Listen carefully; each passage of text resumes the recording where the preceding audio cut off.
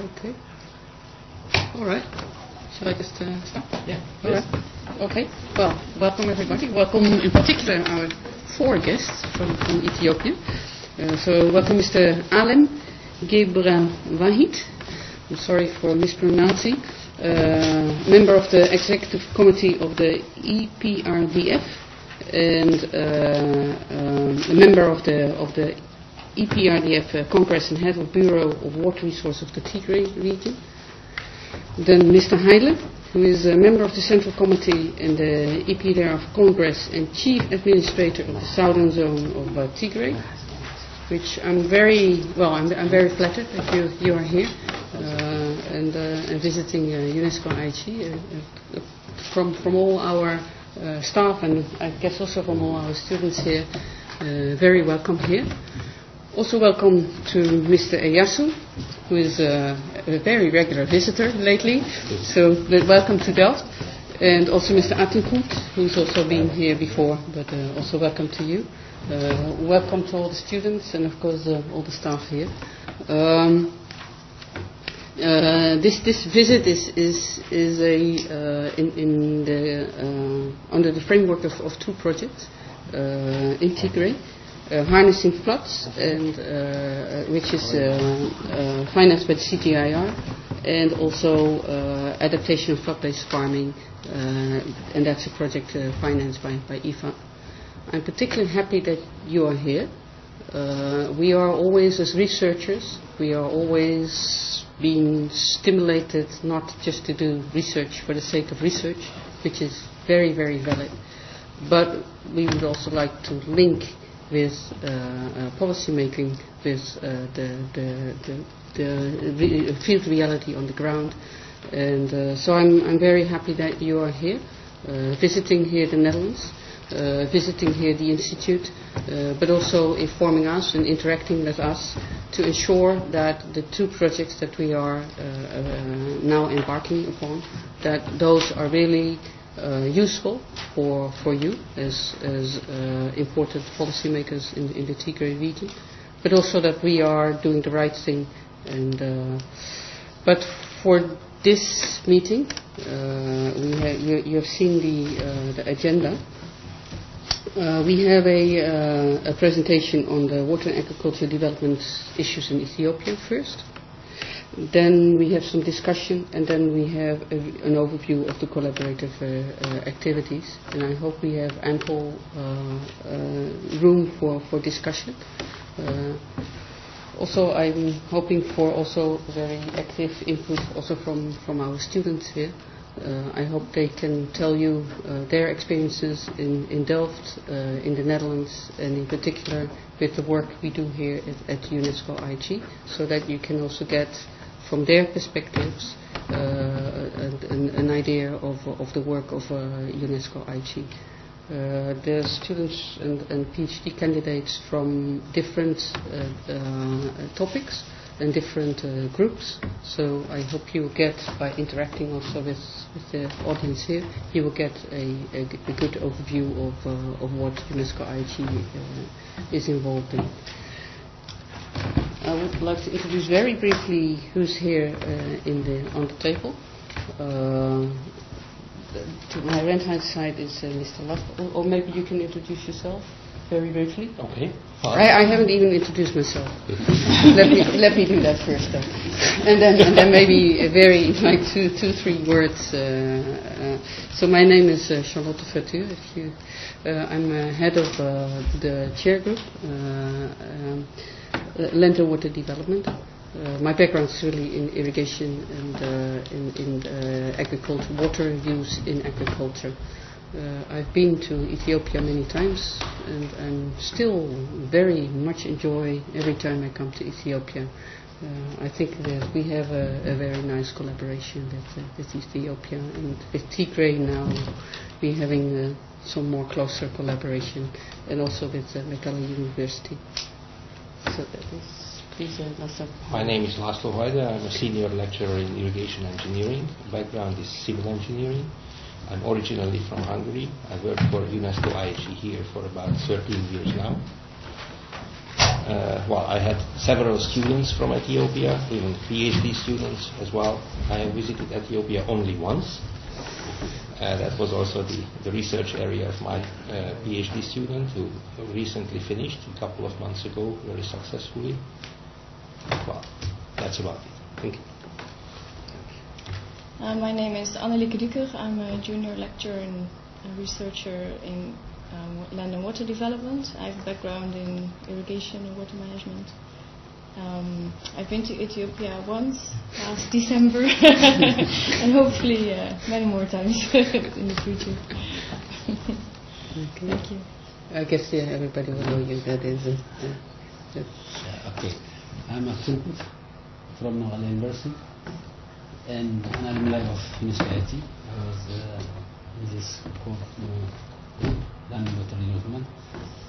Currently, I'm uh, working as Dean of College of General Agriculture uh, in Nogal University. By profession, I'm uh, yes, water resource and irrigation expert. good okay. Next, yeah, my name is Kumar Karim. I'm a senior lecturer in uh, irrigation management. Um, I joined IHE about a year ago, but when I was with INI before IHE, I did a lot of research in Ethiopia. In fact, part of my PhD was on Awash Basin in Ethiopia. So I was a frequent visitor to Ethiopia, and I'm quite fascinated by the country. I'm looking forward to continue the work and collaboration. Well, uh, my name is Suryadi. I work since uh, year 2004 here, joining land and water. And then, uh, yeah, my field is uh, related to mathematical modeling, irrigation and drainage system, especially in low-land areas. Uh, My name is Abraham. I'm working at the land and water development for IHE. I focus mainly on irrigation design management, but also uh, as research focus on managing floods for productive use. Thank you. Thank you. I, I'm just, I think first of all, I'm glad that almost every member of this core group had been at least once to Ethiopia, and we look forward to have you as many as possible, especially that we are now starting this double degree initiative in land and water development. So we look forward to you much more, uh, than past. So back to myself, I'm Yasu. I'm uh, a senior lecturer and researcher in Mekelle University. Yeah, I had my PhD with uh, my friend Abraham uh, in land and water development. Currently, I'm the director of the Institute of Water and Environment at Mekelle University. Okay, uh, my name is Alan Lawad from Ethiopia, and I'm in charge of the Water Resource Bureau head. So we are happy to come here. Thank you. My name is Haile Asfaha. I'm from Ethiopia, southern Tigray uh, regional zonal administrator, and uh, I'm here to share uh, experiences from uh, Netherlands. Uh, and this is my second time to come here in the IHE. Two years ago, I was here. I was here. Uh, we, we, we took I, I took a lot of uh, experiences from spate irrigation, and I tried to experience it in my region. That? Thank you. Thank you. Very much. I, I'm afraid that if we would do it all with you, then we would take too much time. So I hope you won't. I mean, you won't find uh, uh, find it too offending if, if I if, if I say we have to, to go on. But I, I think, in terms of time, I think it's probably better if we. Uh, uh, if we continue, I hope you have uh, in the here afterwards. I hope you have some uh, opportunity to, to introduce yourself to uh, to the others. Uh, then, for the next agenda item, I think we should continue. Uh, may I ask Mr. Alem and Mr. Heidler to uh, give an introduction, introduction on the water and agriculture development issues in Ethiopia? Is that? Is that? Yeah. Okay. Thank you, Professor Charletti, I think. okay, uh, I also thank you just for inviting me to uh, present about the current Ethiopian uh, political and economic uh, situation. So I'm going to just to speak in Amharic. Okay, go ahead. Uh, I I think, What's yeah, that? yeah, I think Dr. uh. Diaz is going to just give a summary uh, Sure. on the Okay. issues. Uh, ጥሩ እንደምን አላችሁ? Uh, ያው uh, እኛ የመጣ ነው አመጣጣችን ከሆላንድ መንግስትና ህዝብ ዩኔስኮ አይኤች ኢንስቲትዩት የዋተር ኢሪጌሽን የሚለው ይሄ አሁን ያለንበት ተቋም አንዳንድ ከውሃ ስራዎች ጋር የተዛመደ ተሞክሮ ለመውሰድ እድል በሰጠን መሰረት ትምህርት ለመቅሰም ነው የመጣ ነው። አመጣጣችን ይሄ ነው። ስለዚህ ራሳችንን ልንማር ነው የመጣ ነው። እግረ መንገዳችን ግን እዚህ ኢትዮጵያ ተማሪዎች ስላሉ አጠር ያለ ፊት ለፊት ተገናኝተንም ፌስ ለፌስ ብንተያይም ጥሩ ነው። ዝም ብሎ ያላቸው ነገርም ማብራሪያ ብንሰጥ ይሻላል ስላሉን እነ ያው ዶክተር እነ ፕሮፌሰር ቻርሌት እና እነ ዶክተር አብርሃም እንዲሁም ከኛ ጋር የመጡ እ፣ የመቀሌ ዩኒቨርሲቲ እ፣ እነ ዶክተር እያሱና ዶክተር አትንኩትም ይሄ ነገር ትንሽ ብሪፍ መስጠት ነው ስላሉን ይሄ ነገር መንገዳችን ለማድረግ ነው እንጂ እኛ ማንንም ለማንቃትና ትምህርት ለመስጠት የመጣን አይደለም። ራሳችንን ለመማር ነው እዚህ የመጣ ነው ማለት ነው። በዚህ መንገድ የተረዱት ጥሩ ነው። ሆኖ ግን እናንተ ተማሪዎች ስለሆናችሁ ምናልባት ተምራችሁ ደግሞ ሀገራችንን ተመልሳችሁ መስራታችሁ አይቀርም ብቻ ሳይሆን በእኔ አመለካከት የግድም ነው የሚል አስተያየትና አመለካከት ነው ያለኝ። ምክንያቱም ሀገራችሁ ተመልሳችሁ ሀገራችን ማልማት ነው ያለባችሁ ስትማሩ ሀገራችን ያለውን ችግር ለመፍታት ነው መሆን ያለበት። አይ ቲንክ ኢንዲቪጁዋሊ የራሳቸውን ህይወት ብቻውን ለማስተካከል የምትማሩት ነገር አይመስለኝም። ዋናው የመጀመሪያው ዓላማ ህዝባችሁና ሀገራችሁን ለመለወጥ ትምራችሁ ችሎታ ይዛችሁን ሀገራችሁን ለመለወጥ ነው። የእናንተ ህይወት እግረ መንገዱ ነው የሚለወጠው እና የሚቀየረው።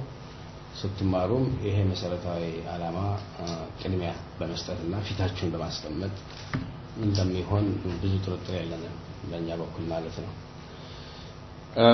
ስለዚህ አጭር ከእነሱ ጋር ተገናኝተን ለወደፊቱ እናንተም እጣ ፈንታ በአጠቃላይ የሀገሪቱ የህዝቡን አንዳንድ አጠራጠር ያለ ማብራሪያ ቢገኝ ጥሩ ይሆናል በሚል የተወሰደውም ከዚህ ነው። ሁላችን እንደምናውቀው አንድ ህዝብ ወይም አንድ ሀገር ለእድገት ለልማት ሲነሳ ራዕይ ሳያስቀምጥ አይነሳም። እኛም እንደ ማንኛውም የበለጸገ ህዝብ እና አንድ የእድገት ደረጃ የደረሰ ህዝብ ለመድረስ በመራራት ላይ ስለሆናችን ስለሆን ያው የግድ ራዕይ ያስቀምጠን ነው ጉዞ እ፣ የጀመርነው። እንደ ሀገር እንደ መንግስት በኢትዮጵያ ውስጥ የተቀመጠው ራዕይ አለ። ይሄ ራዕይ ሁሉም ዜጋ የተማረም ያልተማረም የፖለቲከኛውም የመሀይሙም የቡሙ የመላው የኢትዮጵያ ህዝብ መንግስት አጠቃላይ እድገትን የሚፈልግ እና የተሻለ አስተዳደርን የሚፈልግ ዜጋ በሙሉ ሊጋራው የሚገባ ራዕይ ተቀምጦ ነው ስራ እየሰራ ያለ ነው። ይሄ ራዕይ ብዙ ሀገሮችም የተጠቀሙበት የራዕይ ክፍፍል ይሄ ሀገርና ይሄ ህዝብ በዚህ ደረጃ ይህ አይነት ገቢ ይኖረዋል፣ ይሄ ደረጃ የገቢ ቦታ ይኖረዋል ተብሎ ነው ብዙ ጊዜ ተከፋፍሎ የሚቀመጠው። ስለዚህ በእኛም የራዕይ ሁኔታ እስከ 2017 በኢትዮጵያ አቆጣጠር መጪው 10 ዓመትን ጨምሮ የኢትዮጵያ ህዝብና መንግስት በአጠቃላይ ሀገሪቱ የዝቅተኛ መካከለኛ እድገት ደረጃ መድረስ አለበት ተብሎ ተይዞ ነው እየተሰራ ያለው። ስለዚህ እንግዲህ ከአስር ዓመት በኋላ እ፣ አጠቃላይ ሀገሪቱን የዝቅተኛውን መካከለኛ ገቢ እድገት ዲክሌር የምታደርግበት ወቅት ጊዜ ይሆናል። ከሱ ቀጥሎ 15 20 ዓመት ከፍተኛው የመካከለኛ ገቢ። በአጠቃላይ ይሄ ከፍተኛ እድገትና ብልጽግና ደረጃ የሚባለው ደግሞ በሀያኛው ክፍለ ዘመን አጋማሽ አካባቢ 45 50 በኛ አቆጣጠር ወደ 45 50 አካባቢ የኢትዮጵያ ሕዝብ እና ሀገር ከፍተኛ እድገት ያመጡ ሕዝቦችን ተርታና ጎራ መሰለፍ አለበት ተብሎ ራዕይ ተቀምጦ ነው በከፍተኛ ርብርብ የሚገኘው። ምናልባት ለከፍተኛ የእድገት ደረጃ አሁን ያለንበት ሀገር የሆላንድ ሕዝብና መንግስት እንደ ማሳያ ልንወስደው እንችላለን። ከፍተኛ ደረጃ እድገት የደረሰ ሕዝብና ሀገር ስለሆነ ስለዚህ የዛሬው 45 ባጭሩ የሀያ አንደኛው መካከለኛው እንትኑ ግማሹ ክፍለ ዘመን አካባቢ የከፍተኛ እድገት የምንለው መጨረሻውን ብልጽግና ኢኮኖሚ ደረጃ ለመቀላቀል ታስቦ ነው በጣም ሰፊ ርብርብና እንቅስቃሴ የተደረገ ያለው። ይህ እንግዲህ ሁሉም መነሻ ነው እንዳልኩት ቀደም ብዬ የተማረም ሊሆን ይችላል ያልተማረም ፖለቲከኛ የሚልም ሌላም ሌላም ይሄ ራዕይ ለማሳካት እያንዳንዱ ዜጋ የዚችን ህዝብና አገር እጣ የሚወስን መሆኑን አውቆ እንዲንቀሳቀስ የሚጠየቅበት ወቅት ነው ያለ ነው። ስለዚህ ይህን ለማድረግ ያው እስካሁን እንደ መንግስት እንደ አንድ ህዝብ ሰፊ ስራ ይዘን እየተንቀሳቀስን ነው። በልማት፣ በመልካም አስተዳደር፣ በማህበራዊ ልማት በእነኚህ ዋና ዋና መስኮች ያለፈው ኦልሞስት ወደ 25 ዓመት አካባቢ ሆነው 24 ዓመት አካባቢ ከነበረው ስርዓት ውድቀት በኋላ በጣም ሰፊ ሊባል የሚችል እቅድ ይዘን የተንቀሳቀስን ከፍተኛ ለውጥ እየተገኘ የሚገኝበት ሁኔታ እንዳለ ማየት ይቻላል። ይሄ ከፍተኛ ለውጥና የኢኮኖሚ እንቅስቃሴ እዚህ ምን ያክል ነው ደረጃ ምንድን ነው? ብዙ አሁን ላይ ያነጋግረን ይችላል። የዚህ ስብሰባን ከፍተኛ ዓላማ ላይሆን ይችላል። አንድ ነገር ግን ተሰምሮ ሊቀመጥ ይችላል። ይቺ ሀገር የእኛ ሀገራችን ኢትዮጵያ በአሁኑ ሰዓት በከፍተኛ የእድገት ደረጃ ምናልባትም በዓለም ውስጥ ገና በመበልጸግና በእድገት ላይ ያሉ ሀገሮችን በጣም ከፍተኛ በየአመቱ ለውጥ ከሚያመዘገቡና የእድገት ደረጃቸው በስፋት እና ሚራክል በሚባል ደረጃ ተአምር በሚባል ደረጃ እድገት የሚያስመዘግቡ ሀገሮች ተርታ ተሰልፋ እየተጓዘች እንደሆነ ይሄ በማንኛውም የዓለም የኢኮኖሚ መስፈርት ስታንዳርድ የተረጋገጠም ስለሆነ ማረጋገጥ ይቻላል። ምክንያቱም በፈጣን እድገት ያሉ የሚባሉ አገሮች በተለይ በእድገት አካባቢ ያሉ ከሰባት እና ስምንት ፐርሰንት በላይ በየአመቱ የሚያድጉ አገሮች ከተሞክሮም በእኛ ብቻ ሳይሆን ከተሞክሮም በጣም የበለጸጉና ከፍተኛ እድገት የሚያመዘገቡ አገሮች ተብለው ይቀመጣሉ።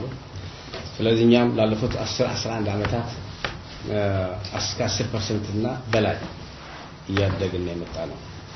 ስለዚህ ወደ ዲቴይል በትምህርት ይህን አይነት አስመዝግበናል። በኢንፍራስትራክቸር መሰረተ ልማት ይህንን አስመዝግበናል። በጤና እንዲህ ምናምን ሳንል ይሄ ነገር ጊዜ ስለሚፈጅብን ሳንል ለሁሉም እንትን የሚያደርገው እድገት በጣም ፈጣን ከሚባል የኢኮኖሚ እና የልማት እንቅስቃሴ የሚሰለፍ ስራ ይዘን እየተንቀሳቀስን ነው እና በከፍተኛ እድገት የምትገኝ ሀገር መሆኗን ሁላችንን የምናውቀው ቢሆንም በዚህ አጋጣሚ ሊገለጽ የሚገባ ፋክት ይሆናል። ስለዚህ በከፍተኛ እድገት እንገኛለን ነው። ይሄ እድገት ቅድም ብዬ እንዳስቀመጥኩት ከራዕይ ነው የሚመነጨው፣ ዝም ብሎ አይደለም። ስለዚህ ራዕዩ ይህንን እድገት እንዲያመጣ የተቀመጠው ነገር የግብርና መር ኢንዱስትሪ የሚለው ቁልፍ ስትራቴጂ ግብርና መር ግን ኢንዱስትሪ መጀመሪያውን የሚመራው ኢንዱስትሪ ማነው ግብርና ይሆናል። ሂዶ ሂዶ ግን የመጨረሻው ግብርና በአጠቃላይ ከሀገሪቱ እድገትም እየቀነሰ እየቀነሰ ሀገሪቱ ላይ የሚኖረው ኮንትሪቢሽን እየቀነሰ እየቀነሰ መጨረሻ ወደ ኢንዱስትሪያላይዜሽን እንደ ሀገር እንደ ህዝብ እየገባን ወደ ከፍተኛ የብልጽግናና የእድገት ደረጃ የምንደርስበት አቅጣጫ ነው የተቀመጠው። እንደገና አሁን ግብርና መር ስንል ሄደ ሄደ በመጀመሪያ የተቀመጠው በሁለት ነው የተከፈለው የግብርናው ራሱ አንደኛው በጣም ቆላማና ቆላም ላይሆን ይችላል ወይና ደጋም ደጋም ሊሆን ይችላል ግን የዝናብ እጥረት ያለበት አካባቢ እና የተሻለ ዝናብ የሚያገኙ አካባቢዎች ተብለው ስነ ምህዳሩን ተለይቶ በዝናብ እጥረት ባለባቸው አካባቢዎች እና ዝናብ የተሻለ ባለበት አካባቢ የተቀመጡ ራዕዮችም አሉ። በእርሻም አካባቢ ራሱ በዝናብ እጥረት ባለባቸው አካባቢዎች ዋነኛው ራዕይ የተቀመጠው ከዝናብ ጥገኛ የሆነ ኢኮኖሚ ማውጣት የሚለው ራዕይ ነው የተቀመጠው። ከዝናብ ጥገኝነት የወጣ የእርሻ እንቅስቃሴ ወይም የግብርና እንቅስቃሴ መሰረታዊ ይዘቱ ያው አንደኛው ትልቁ ነገር የመስኖ ልማት በስፋት የማስገባት ራዕይ ነው የተቀመጠው። እ፣ እነኚህ አካባቢዎች ያላቸውን የከርሰ ምድር የገጸ ምድር ውሃን በስፋት በመጠቀም ኢሪጌሽንን በማስፋፋት እርሻውን ከዝናብ ጥገኝነት እያላቀቅ በአመት ሁለት የሶስት ጊዜ በማልማት የሚያስችል ከፍተኛ አቅም መፍጠር የሚለው ግልጽ ራዕይ ነው የተቀመጠ። ሁለተኛው ራዕዩ ዝናብ አጠር በሆነ አካባቢም ኢቨን ዝናብ ባለበት አካባቢም እርሻው ወደ ኮመርሻል የሆኑ ምርቶችን በስፋት እንዲገባ እና ምርታማነት ደግሞ ዓለም ውስጥ ከተገኙ ልምዶችና ተሞክሮዎች ስታንዳርድ የደረሰ በምርታማነት ደረጃ በከፍተኛ ደረጃ በዓለም ውስጥ ከተገኙ ለምሳሌ ሆላንድን ብናይ ከፍተኛ የምርት እንቅስቃሴ የሚታይባቸው ኮሞዲቲስ ይኖራሉ። ጄኔቲካሊ በከፍተኛ ደረጃ ያደጉ የእርሻ ኮሚኒቲስ ይኖራሉ። በሌላም እንዲሁ። ስለዚህ እነኚህ ምርታማነታቸውን ይህን አይነት እድገት የሚያመጡ ከዛ ደግሞ ኮመርሻል የሚሆን ሚኒንግ ለገበያ ዝም ብሎ ለምግብ ለሚመገበው ገበሬ አርሶ አደሩ ገበሬው የሚመገበው ብቻ ሳይሆን በገበያ መር ስትራቴጂ ሆኖ እንዲያፈራ የሚያደርግ የእርሻ ራዕይና ስትራቴጂ ነው የተቀመጠው እና የግብርና ራዕይና ስትራቴጂ ነው የተቀመጠው በአጠቃላይ። ስለዚህ በዚህ ራዕይና ስትራቴጂ ያው ቀደም ብለን እናስቀመጥ ነው በእርሻም በኢንዱስትሪም የስትራቴጂ መሰረት ሀገሪቱ በከፍተኛ እድገት አቅጣጫ እየተጓዘች እንደሆነ ያው እናንተም አንዳንዶቻችሁ ሁለት ሶስት ዓመት አራት ዓመት ሊሆንባችሁ ይችላል። አዲሶች ልትሆኑ ትችላላችሁ። ሀገር ውስጥ ስለነበራችሁ ያው ይህን ኢንፎርሜሽን እንደሚኖራችሁ መገመት ይቻላል። እሱ አጠቃላይ ይህን መነሻ አድርገን ይህን መነሻ አድርገን ያን አይነት ራዕይ ተይዞ በገጠርም ግን በከተማ አጠቃላይ ሀገሪቱ የት መድረስ አለባት የሚለውን ነገር ተይዞ በስፋት እንቅስቃሴ ገብተው እስካሁን ከፍተኛ ሊባል የሚችል ድል በማግኘት ያለ አገርና ሕዝብ ብለን መውሰድ እንችላለን። ስለዚህ ስፔሲፊክ ለመሆን ይህን አጠቃላይ እድገትና አቅጣጫ እንዳለ ሆኖ በዚህ እድገትና አቅጣጫ ቀደም ብዬ እንደነገርኳችሁ የመሰረተ ልማት በተለይ ደግሞ የውሃ ሀብት ልማት ሀገራችን በዚህ ስትራቴጂ ከፍተኛ ግምት የተሰጠው ሴክተር ነው። በጣም ከፍተኛ ግምት የተሰጠው ሴክተር ነው ውሃ። አንደኛ እድገት እየመጣ ነው። እድገት አለ ሲባል በመጀመሪያ ደረጃ ህዝቡ የእድገቱ ውጤት መጨረሻው ምንድነው ብንል ያው ኑሮውን በየጊዜው የተሻሻለ መሄድ ነው። ኑሮ ከሚሻሻልባቸው ገጾች አንዱ ደግሞ የተሻለ ውሃ፣ ንጹህ መጠጥ ውሃ ማግኘት ነው። ይሄ አንደኛው ነው። ዝም ብሎ እድገት አለ ምናምን ሲባል የማይጨበጥና በእያንዳንዱ ቤተሰብ የማይገባ ነገር አይደለም። ስለዚህ ከዚህ ፐርስፔክቲቭ ተነስቶ መንግስት ያስቀመጠው ፖሊሲ አለ። ግን ውሃ እንደ መጠጥ እንደ ንጹህ መጠጥ ውሃና የድል ተጠቃሚነት የማስፋቱን ንጹህ መጠጥ ውሃ ማግኘት ብቻ ሳይሆን ውሃ ለልማትም ከፍተኛ መሳሪያ ነው። እንደገና ከእድገት የሚፈጠረው ተጠቃሚነት ማረጋገጥ ብቻ ሳይሆን እድገት እንዲመጣ በጣም ከፍተኛ መሳሪያ ሆኖ የሚያገለግል ነው ውሃ። መንግስታችን ክሊር ሊያስቀምጦታል። ተርፎር የኢንቨስትመንት በከፍተኛ ደረጃ ለማስፋፋት በተለይ ወደ ኢንዱስትሪያላይዜሽን በሚደረገው ጉዞ በጣም ቁልፍ የሆኑ ግብአቶች አንዱ ውሃ ነው። ያለ ውሃ የተገነባ ኢንዱስትሪያላይዜሽን በማንኛውም ዓለም ማንኛውም ሀገር የለም። ስለዚህ ከኢንፍራስትራክቸሮች በጣም ቁልፍ ሆኖ መጀመሪያው የሚመጣ እርግጥ ነው ውሃ ነው። መብራት አለ፣ ግን መብራት ራሱ በውሃ ነው የሚፈጠረው። በተለይ ይሄ ሪሶርስ በስፋት ባለባቸው ሀገሮች ፓወር ጄኔሬሽን ራሱ የኃይል ምንጭ ራሱ በውሃ ነው የሚመጣው። አንወይ እንደ ትልቅ የልማት መሳሪያ እንደ ቁልፍ የልማት መሳሪያ አድርጎ ተገንዝቦ ነው መንግስት እየሰራ ያለ። ስለዚህ ብሎ ልማት ከመጣ በኋላ ንጹህ መጠጥ ውሃ ይገኛል እና እንደ ውጤት ብቻ ሳይሆን እንደ ለልማት ቁልፍ መሳሪያ ውሃ በጣም ወሳኝ ነው ብሎ ያምናል መንግስታችን። ዘርፎር በዚህ በኩል ሲታይ በእርሻ በተለይ በግብርና አካባቢ ቀደም ብዬ እንደገለጽኩላችሁ የዝናብ እጥረት ባለባቸው አካባቢዎች ቁልፉ እ፣ እንትኑ የመስኖ ስራ ተደርጎ እየተወሰደ ነው ያለው። የመስኖ ለፕሮዳክቲቪቲ ብቻ ሳይሆን ለኮመርሻላይዜሽን ገበያ መር ለሆነ የገጠር ኢኮኖሚ መሰረቱን የሚያ- የሚያነቃነቀውና የሚያንቀሳቅሰው የመስኖ ስራ ነው። ስለዚህ ውሃ ለመጠጥ ለንጹህ መጠጥ ውሃ ብቻ ሳይሆን ለመስኖ ስራም በጣም ከፍተኛ ግብአት ያለበት ሪሶርስ ተደርጎ ነው የሚወሰደው። ሶስተኛ ለመጠጥ ለመስኖ ብቻ ሳይሆን ውሃ ለከፍተኛ ኢንቨስትመንት ስፋትና ለኃይል ምንጭ በጣም ከፍተኛ ሪሶርስ ተደርጎ ነው በሀገራችን እየተወሰደ ያለው።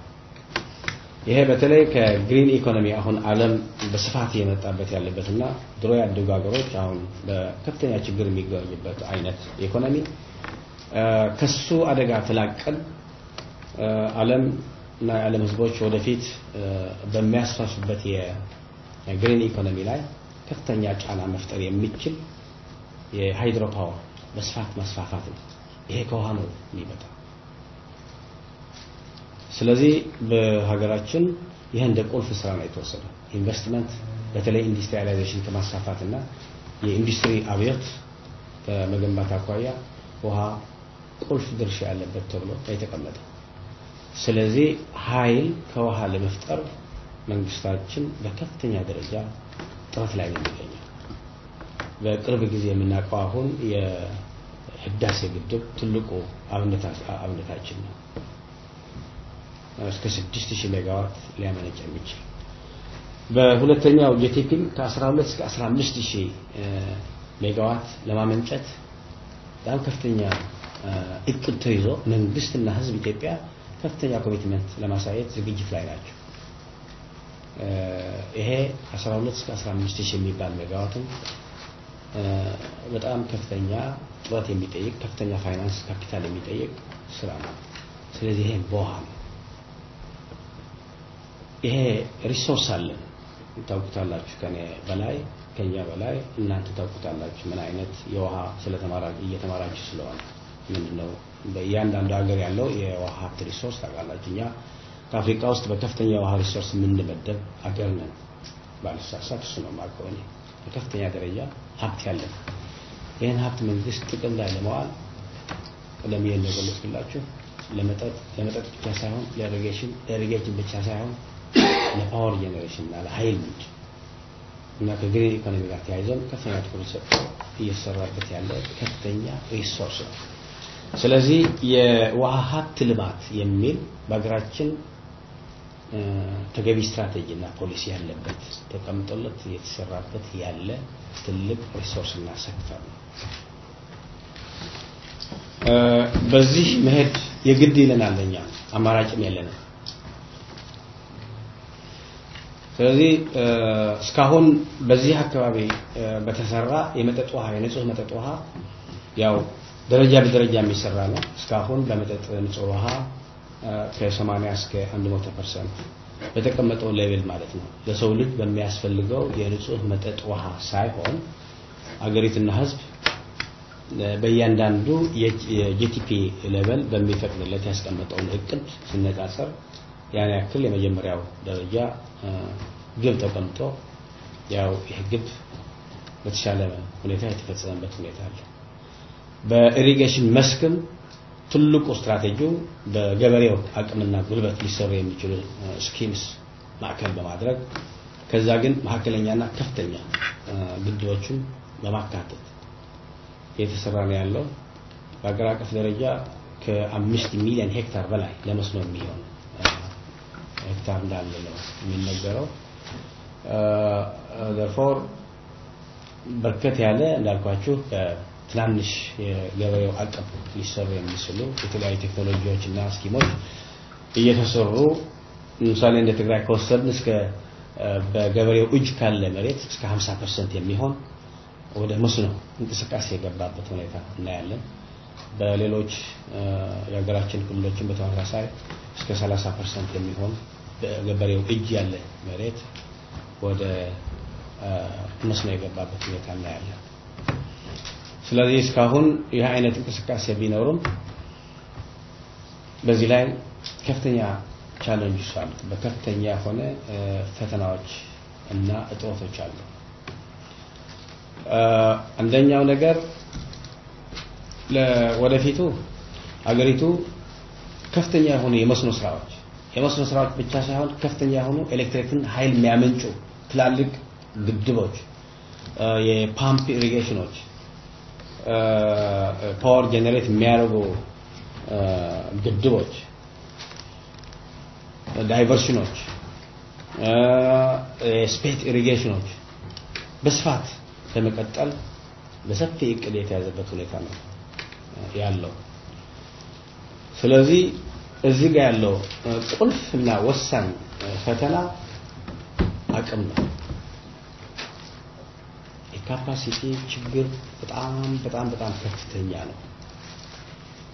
ይሄን ያለን የውሃ ሀብት ልማት አልምተን በጥቅም ለመጠጥ ውሃውም፣ ለኢሪጌሽኑም፣ ለፓወር ጀኔሬሽንም በስፋት ለመጠቀም ከፍተኛ ፈተና ያለው የካፓሲቲ ችግር ነው።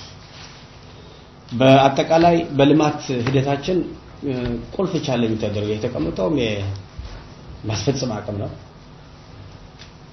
በአጠቃላይ የማስፈጸም አቅም እንደ ቁልፍ ችግር ሲቀመጥ እንዳለ ሆኖ አገር አቀፍ ደረጃ በተለይ በተለይ ወደዚህ ሴክተር ሲመጣ ደግሞ ይሄ ሀብት ሀብቱን ልማቱን ወደ ጥቅም ለማሸጋገር የከፋ የአፈጻጸምና የአቅም ችግር ያለበት ኤሪያ የትኛው ነው ቢባል ደግሞ ይሄ ሴክተር ነው። ውሃ አልምተህ ጥቅም ላይ ለማዋል የሚጠይቀው ከፍተኛ ክህሎት አለ። ውሃን ወደ መጠጥም ወደ መስኖ ወደ ፓወር ጄኔሬሽን ለመቀየር የሚጠይቀው ከፍተኛ ቴክኖሎጂ አለ። እነኚህ ጥቅም ለማዋል የሚጠይቀው ከፍተኛ ጥናት ዲዛይን አለ። ይህን ኮንስትራክት አድርገህ መጨረሻውን ለማድረስ የሚጠይቀው የቁጥጥር ስርዓት አለ። እነኚህ ስትሰራ ደግሞ የሚወጣው ካፒታል በጣም ሂዩጅ ነው። በጣም ከፍተኛ ካፒታል ነው። አንድ ግድብ ለመስራት በቢሊየንስ የሚወጣበት በመቶ ሚሊዮኖች ብር የሚወጣበት በቢሊዮን ብር የሚወጣበት ነው። ስለዚህ እዚህ ላይ የሚፈጠረው በጥናት በዲዛይን ምክንያት የሚፈጠር ችግር፣ በቴክኖሎጂ ጉድለት የሚፈጠር ችግር፣ በግብአት ያለመኖር የሚፈጠር ችግር ዝም ብሎ በቀላል የሚያልፍ ሳይሆን ቢሊየንስ ይዞ የሚያጠፋ በመቶ ሚሊዮኖች የሚቆጠር የድሃ ህዝብና አገር ሀብት ይዞ የሚጠፋ ይሆናል። ስለዚህ አጠቃላይ የአቅም ግንባታ በሁሉም መስክ የልማት፣ የመልካም አስተዳደር፣ የፖለቲካ፣ ማህበራዊ ስራ የካፓሲቲ ችግር፣ የአቅም ችግር በሁሉም ያለና እንደ ቁልፍ መንግስትም እንትን አስቀምጦ እየሰራበት ያለ ቢሆንም በተለይ በዚህ ሴክተር ደግሞ ችግሩ የጎላና ይሄ ሲሆን ደግሞ የሚያመጣው ኪሳራ ማንኛውም ሴክተር የማያካክሰው ከፍተኛ ኪሳራ የሚፈጥር ሴክተር ሆኖ ነው የሚታየው። ስለዚህ አይ ቲንክ እናንተ በውሃ አካባቢ ትምህርት እየወሰዳችሁ ያላችሁ ተማሪዎች ናቸው። ይህን የመሰለ የዚች ሀገርና የዚህ ህዝብ ድህነትን ለማጥፋት ደፋ ቀና ሌት ደፋ ቀና እያለ መንግስትና ህዝብ የእናንተ ትምህርት የእናንተ ግብአት በዚህ ችግር ኮንቴክስት ውስጥ ሲታይ በጣም ከፍተኛ መፍትሄ ሆናቸው የምትበጡበት አጋጣሚ እና እድል በጣም ከፍተኛ ስለዚህ አንደኛ ይሄ ነው። ይሄ ኦቬስ ነው። ምንም የተደበቀ ወይም በንግግር የሚጋነን ወይም በንግግር የሚቀነስ ነገር አይደለም። ይሄ በጣም አይዲያል ነው፣ የሚታይ ነገር እና ያለ ነገር ነው። ኢትዮጵያ መንግስትም ከዚህ ተነስቶ ነው አሁን በተለይ በውሃ ስራ ክህሎቱም፣ አመለካከቱም፣ ቴክኖሎጂውም እና ግብአቱም ለመፍታት ከፍተኛ ጥረት ጀምረዋል። ዘርፎር እናንተ እዚህ ጋር ስትማሩ አንደኛ ይሄ ቻለንጅ መንበሩን በደንብ አውቃችሁ ይሄ ቻለንጅ ደግሞ መፍትሄ እናንተ ጋርና እናንተን የመሰሉ ሌሎች የሚቀጥሉ ከዚህ በፊትም ወጥተው የተማሩ ሰዎች ባለሙያዎች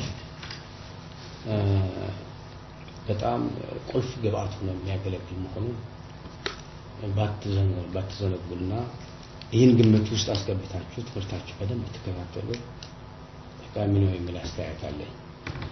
ሁለተኛ እና ከዚህ የተያዘ የዩኔስኮ አይኤች በተለይ በኢትዮጵያ እንዲህ አይነት እድል የእኛ ተማሪዎቻችን እዚህ አይነት እድል አግኝተው እስካሁንም በጣም ብዙ በዚህ ዋተር ኤዱኬሽን ኢንስቲትዩት በጣም ብዙ ተማሪ የወጣ ይመስለኛል። ከኛ ጋር ያሉ እኛ ጓደኞቻችን እንኳን እዚህ ሁለት ዶክተሮች እዚህ የተማሩ ይመስለኛል። አንዱ በማስትሬት ሌላኛው በዶክተሬት አልተሳሳት ማለት እዚህ ነው የተማሩት።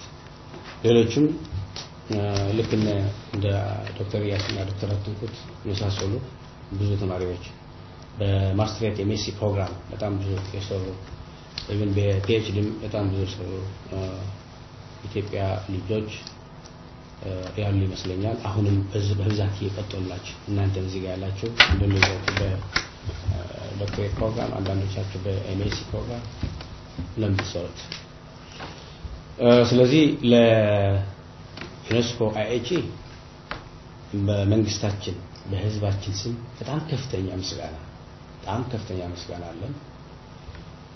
ይሄ ምስጋናም እንዲደርሳቸውና በግልጽ ሁላችንም ነግረን በግልጽ እንዲያውቁት ደግሞ የኢትዮጵያ መንግስት በደንብ የሚያውቀው መሆኑን ብዙዎቻችሁ ተማሪዎች አንዳንዶቹ በግላችሁ መጥታችሁ ልትሆን ትችላላችሁ፣ በግላችሁ ያገኛችሁ እድል።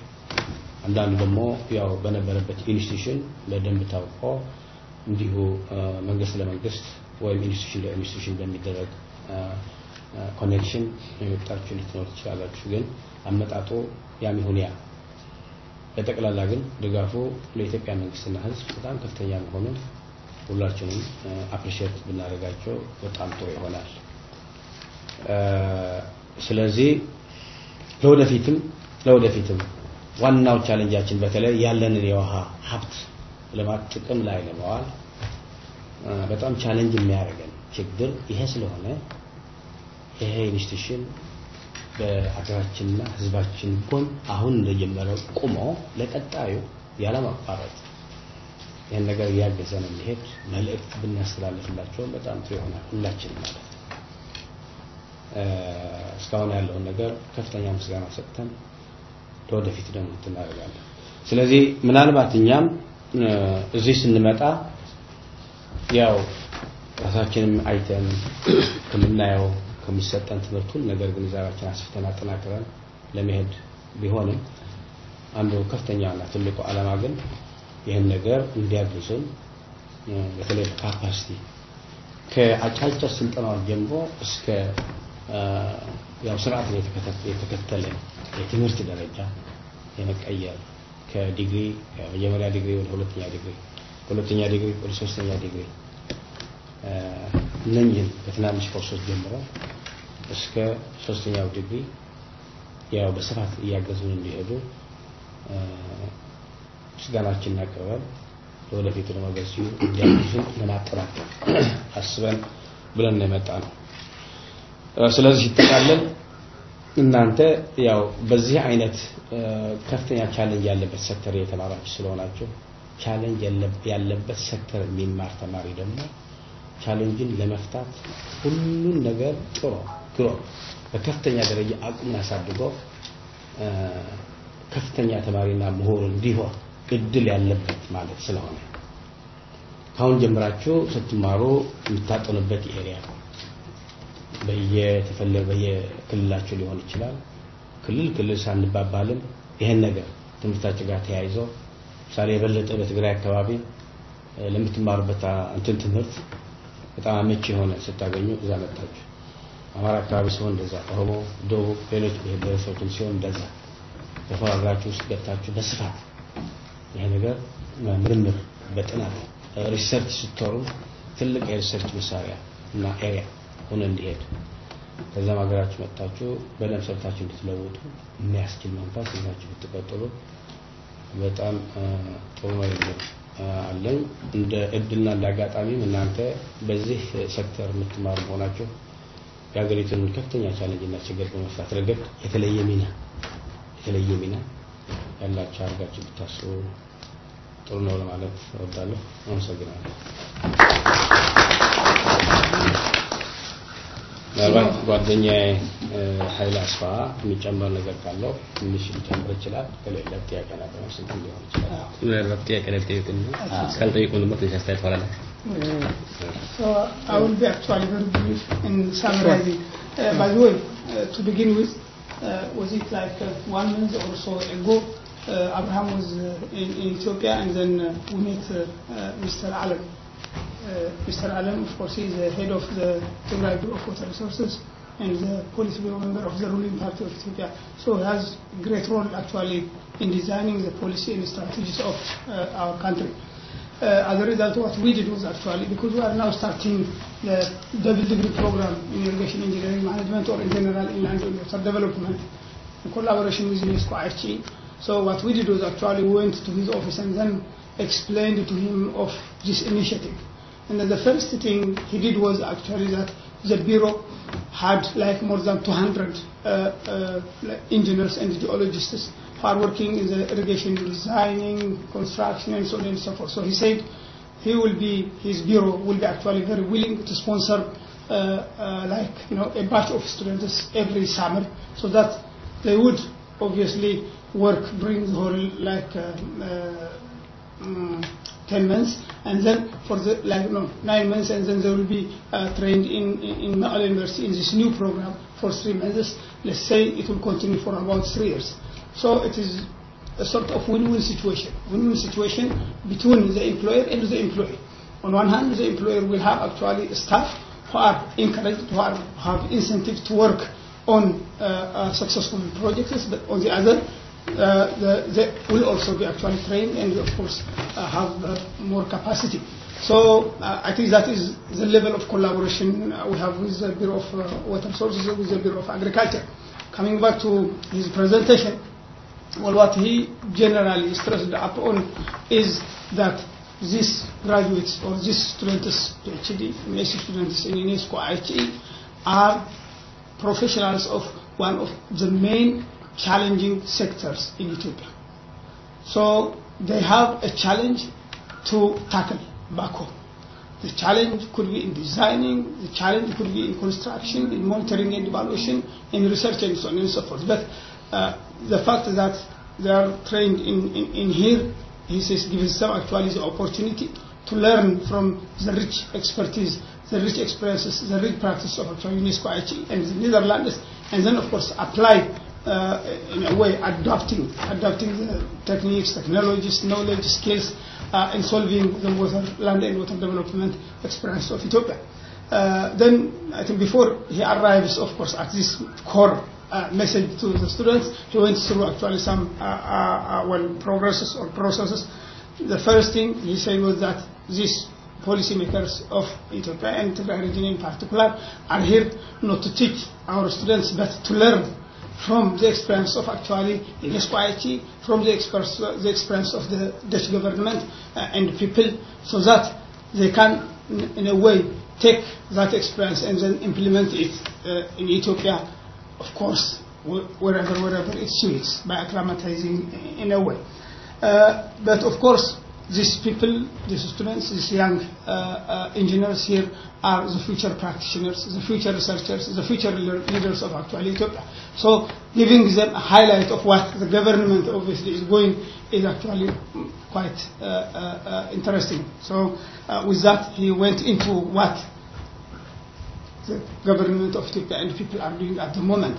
So the first thing he stressed was actually that a country or a people that needs to arrive somewhere needs to have actually a practical vision.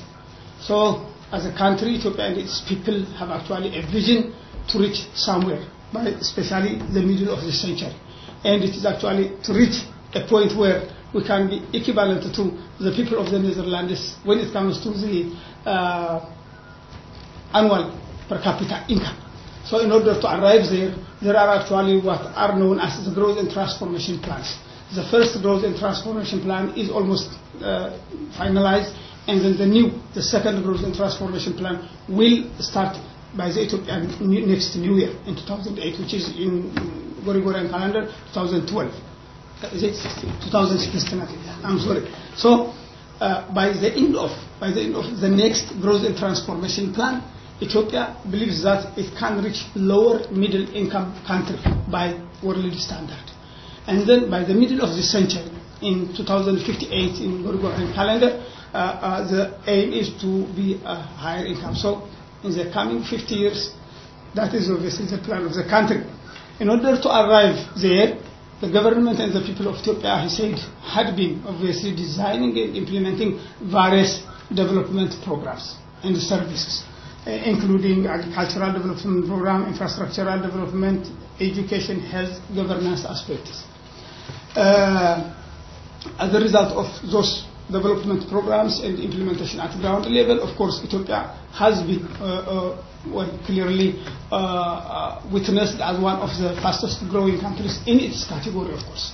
Well, of course, that definitely has to be, in a way, um, attributed to the efforts of professionals, government, people uh, uh, of different, different actually uh, sector. Uh, the basis for its uh, plans and developments has been the agricultural development-led industrialization policy, where the agriculture is expected to hand over the economy to industry like by 2025. So the government is working in order to make sure that industry becomes the leader of the economy like in, in the coming maximum of 10 years. Uh, when it comes specifically to the agricultural sector of this agricultural development-led industrialization policy, it is agroclimatic-based development program. So it classifies first Ethiopia into two categories. One category is areas which are capable of producing their production uh, from rainfall only, so more of humid areas, and then the other is the water scarce area of the drylands of Ethiopia. In both, in both uh, agroclimatic regions, the focus is to improve productivity and, of course, commercialize the agricultural production so that more income is generated. Then industry is also fed by the agricultural productions. Specifically in the dryland areas, irrigation actually becomes the major uh, pillar of the agricultural development. Uh, then he said water now becomes the most important element in the agricultural development programs of Ethiopia. Water not only as a resource per se, but also as a key element for development. So as a resource, it can be used for water supply, it can be used for irrigation, but then it has actually far-reaching uh, uh, uh, like impact beyond that. Because if there is water, then you can develop energy. If you have water, then you can use that energy for acquiring more investment into the country. So the industrialization and energy production of Ethiopia in a way is actually somehow tied to its water, huge water resources. Uh, as a result, he, for example, mentioned that in GTP1, for example, the Grand Ethiopian Renaissance Dam is going to produce like about 6,000 megawatt which will obviously increase uh, the uh, Ethiopian power supply into 10,000 like by the end of GTP1, but in GTP2 then extra 12 to 15,000 uh, megawatt uh, is going to be uh, produced. It's under discussion, of course, in the GTP2 by the high-level uh, uh, leadership. But then the aim is that energy production can be a, a source for acquiring more investment and for realizing the industrialization uh, policy of Ethiopia.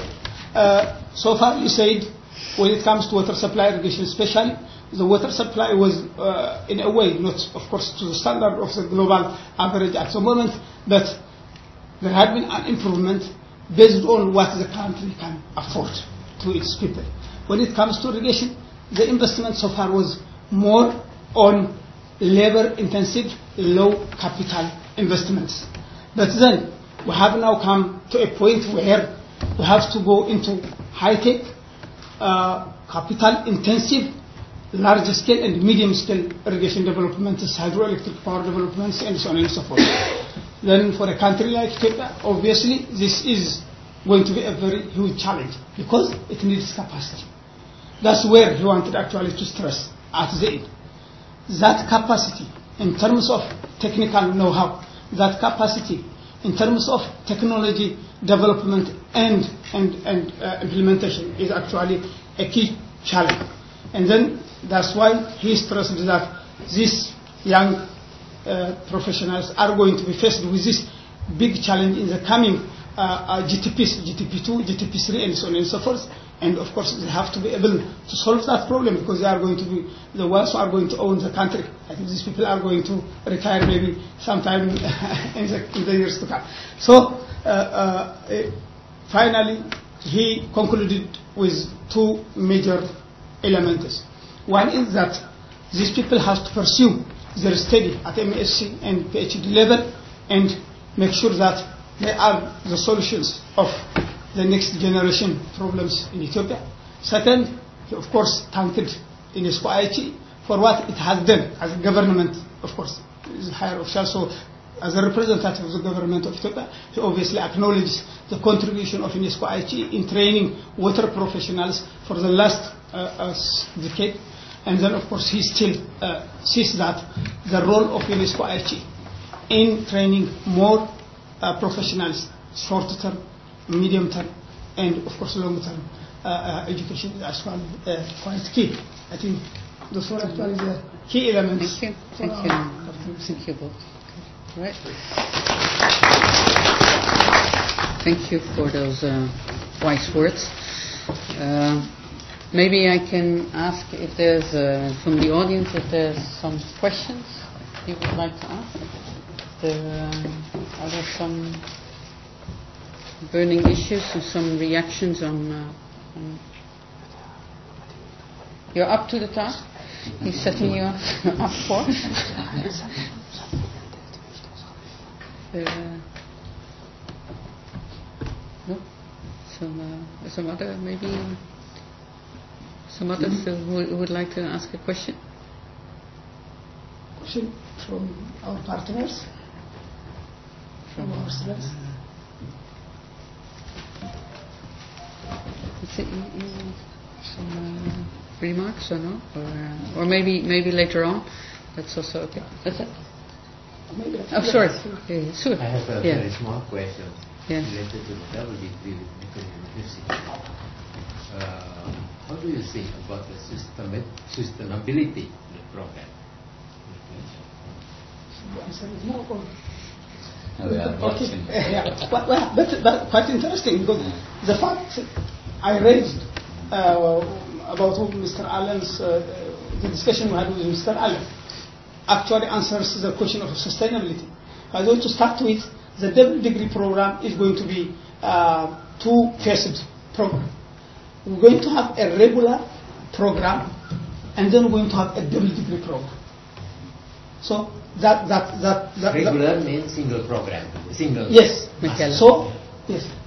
In a way, for example, let's say if there is no fund for us to continue with the double degree program, then we definitely will right I will shift into the regular program and then we'll continue because this irrigation engineering and management is actually one of uh, the education programs that has a very high, based on our need assessment, a very high uh, demand. So we'll continue with our uh, regular degree. But uh, that obviously in a way answers the sustainability. But in short, as I have already earlier mentioned, myself and Abraham went to Mr. Allen and then raised to him about, about this. And there's going to be one national uh, uh, uh, workshop, by the way, in July, July 6 up to 10, uh, based on this SSI project at a national level. So we, we, we believe that we can actually scale up our discussion at regional level, even to national level, so that we have actually even an agreement with the Ministry of Irrigation uh, and Water Resources, so that uh, trainees are not only coming to Mekelle University, but also to other Ethiopian University Sector Water Program uh, uh, uh, partners. There are about eight of them. So anyway, coming back to our, our situation, so based on that discussion we had, he already, in a way, the Bureau already guaranteed us that there are about 200 engineers and geologists who are working in the Bureau who had, they have basis, who had, who had to be actually upgraded. So they, they promised that they will be very willing. We already have started it, by the way, before I come. So he promised that he wanted to send his employees for capacity building at MSc level in irrigation engineering and management. We just started it before I come. We're going to, going to continue when we go. So like for the coming five, ten years, for sure there is not going to be a, pro, a, a problem. And that is only summer program, the way. So this is the summer. So add upon it the regular program and the double degree program, then obviously it is going to be rather a very attractive uh, MSc program in Ethiopia, I guess. But I think we'll touch on about it uh, when we talk about our collaborative. May, uh, may I ask, may, may I ask a question? So, in the in the in the GTP two, is there are there specific targets on uh, people on, on capacity building? Maybe uh, people trained, uh, or and, and and also well, people trained is of course one thing, but of they're not used. I mean, they only get use if, if they only get benefits if you if, if there's employment for them. So are there in the GTP two? Are there provisions for that, and, and are there targets or? or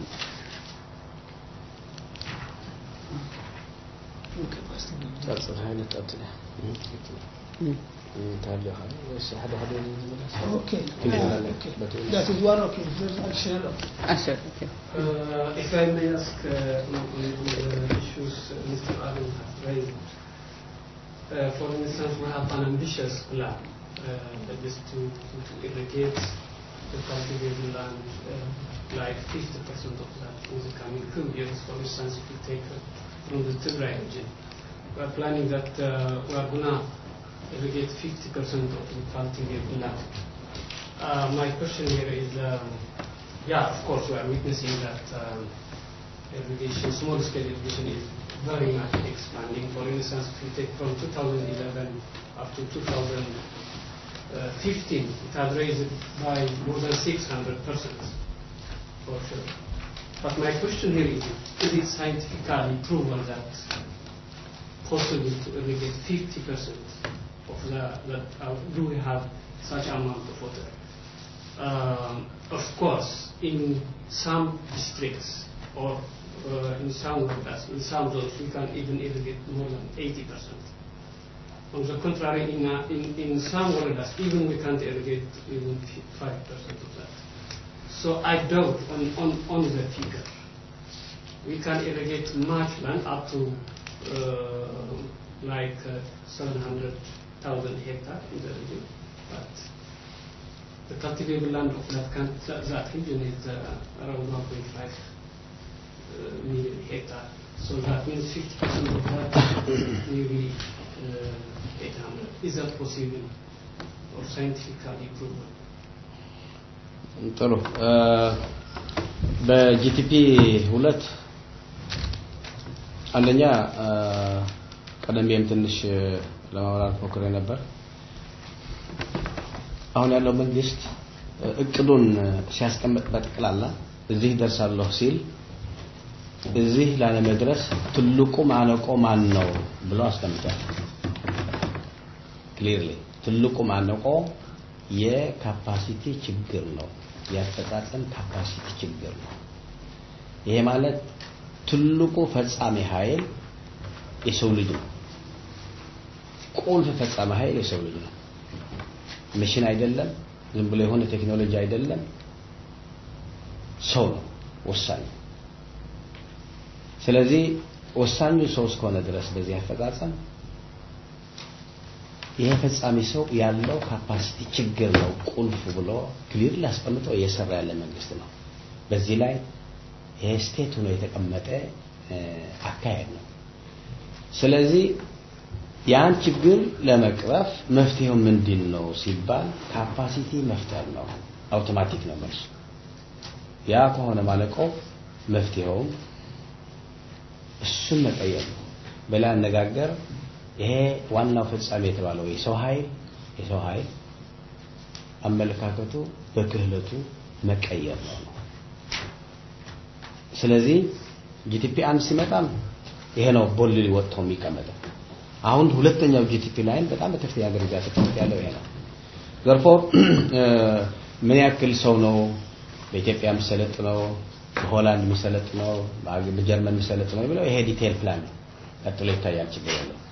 ግን በዚህ ላይ ኮንፊዥን ያለው መንግስት አይደለም የኢትዮጵያ መንግስት በጣም ክሊር ሆኖ ሰውን አልምቶ ክህሎት ፈጥሮ አመለካከትን አጥርቶ እንዲሰራ የማድረግ ከፍተኛ አቅም ያለበት ነው። ስለዚህ የሰው ኃይል ግንባታ በጂቲፒ ሁለት ለብቻው ወጥቶ ተቀምጧል።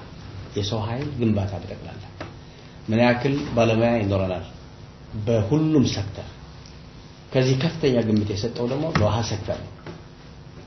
ስለዚህ በሀገር ውስጥ ምን ያክል እናፈራለን፣ ውጭ ካሉ የተለያዩ ዩኒቨርሲቲዎች እና ኢንስቲትዩሽን ምን ያክል እናፈራለን የሚል ነገር ክሊርሊ በእቅዱ አስቀምጧል።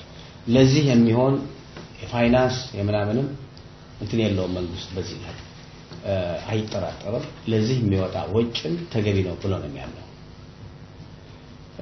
ስለዚህ ለፕሮፌሰር ቻርሌትን ጥያቄ ይሄ በደንብ እንዲብራራ ማድረግ ጠቃሚ ይመስለኛል። ለወደፊቱም ይሄ ኢንስቲትዩሽን በዚህ በኩል በስፋት እንዲያግዝ የኢትዮጵያ መንግስትም ከፍተኛ ግምት የሚሰጠው ኢንስቲትዩሽን ይመስለኛል። ሁለተኛው ለተነሳው ጥያቄ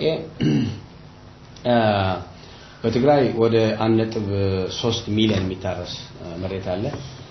ያው ባለፈው ሳስቀምጥ በግልጽ የጠቆምኩት ነገር ነበር።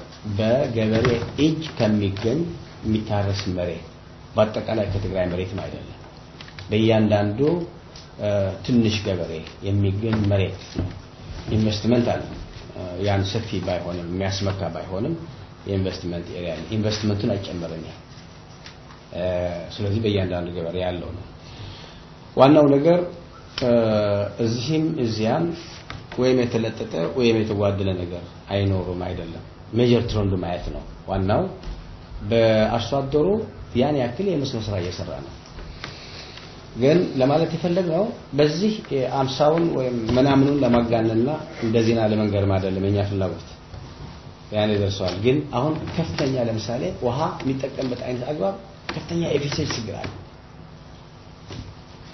የተገኘች ትንሽ ውሃ በቆጣቢ በሆነ መንገድ የመጠቀም ጉዳይ ለወደፊት ከፍተኛ ቻለንጅ ነው። አሁን ከፍተኛ ቻለንጅ ነው ያለው። ዝም ብሎ ያገኘውን ውሃ እየተጠቀመ አሁን እዚህም እዚያም ሀብት ለማፍጠር እየተንቀሳቀሰ ነው። 50 ነው፣ 45 ነው፣ 52 ነው ማየት ይቻላል። ችግር የለው። ግን ያኔ ሲደርስ ግን የጥራት ቀላል ችግር አይደለም።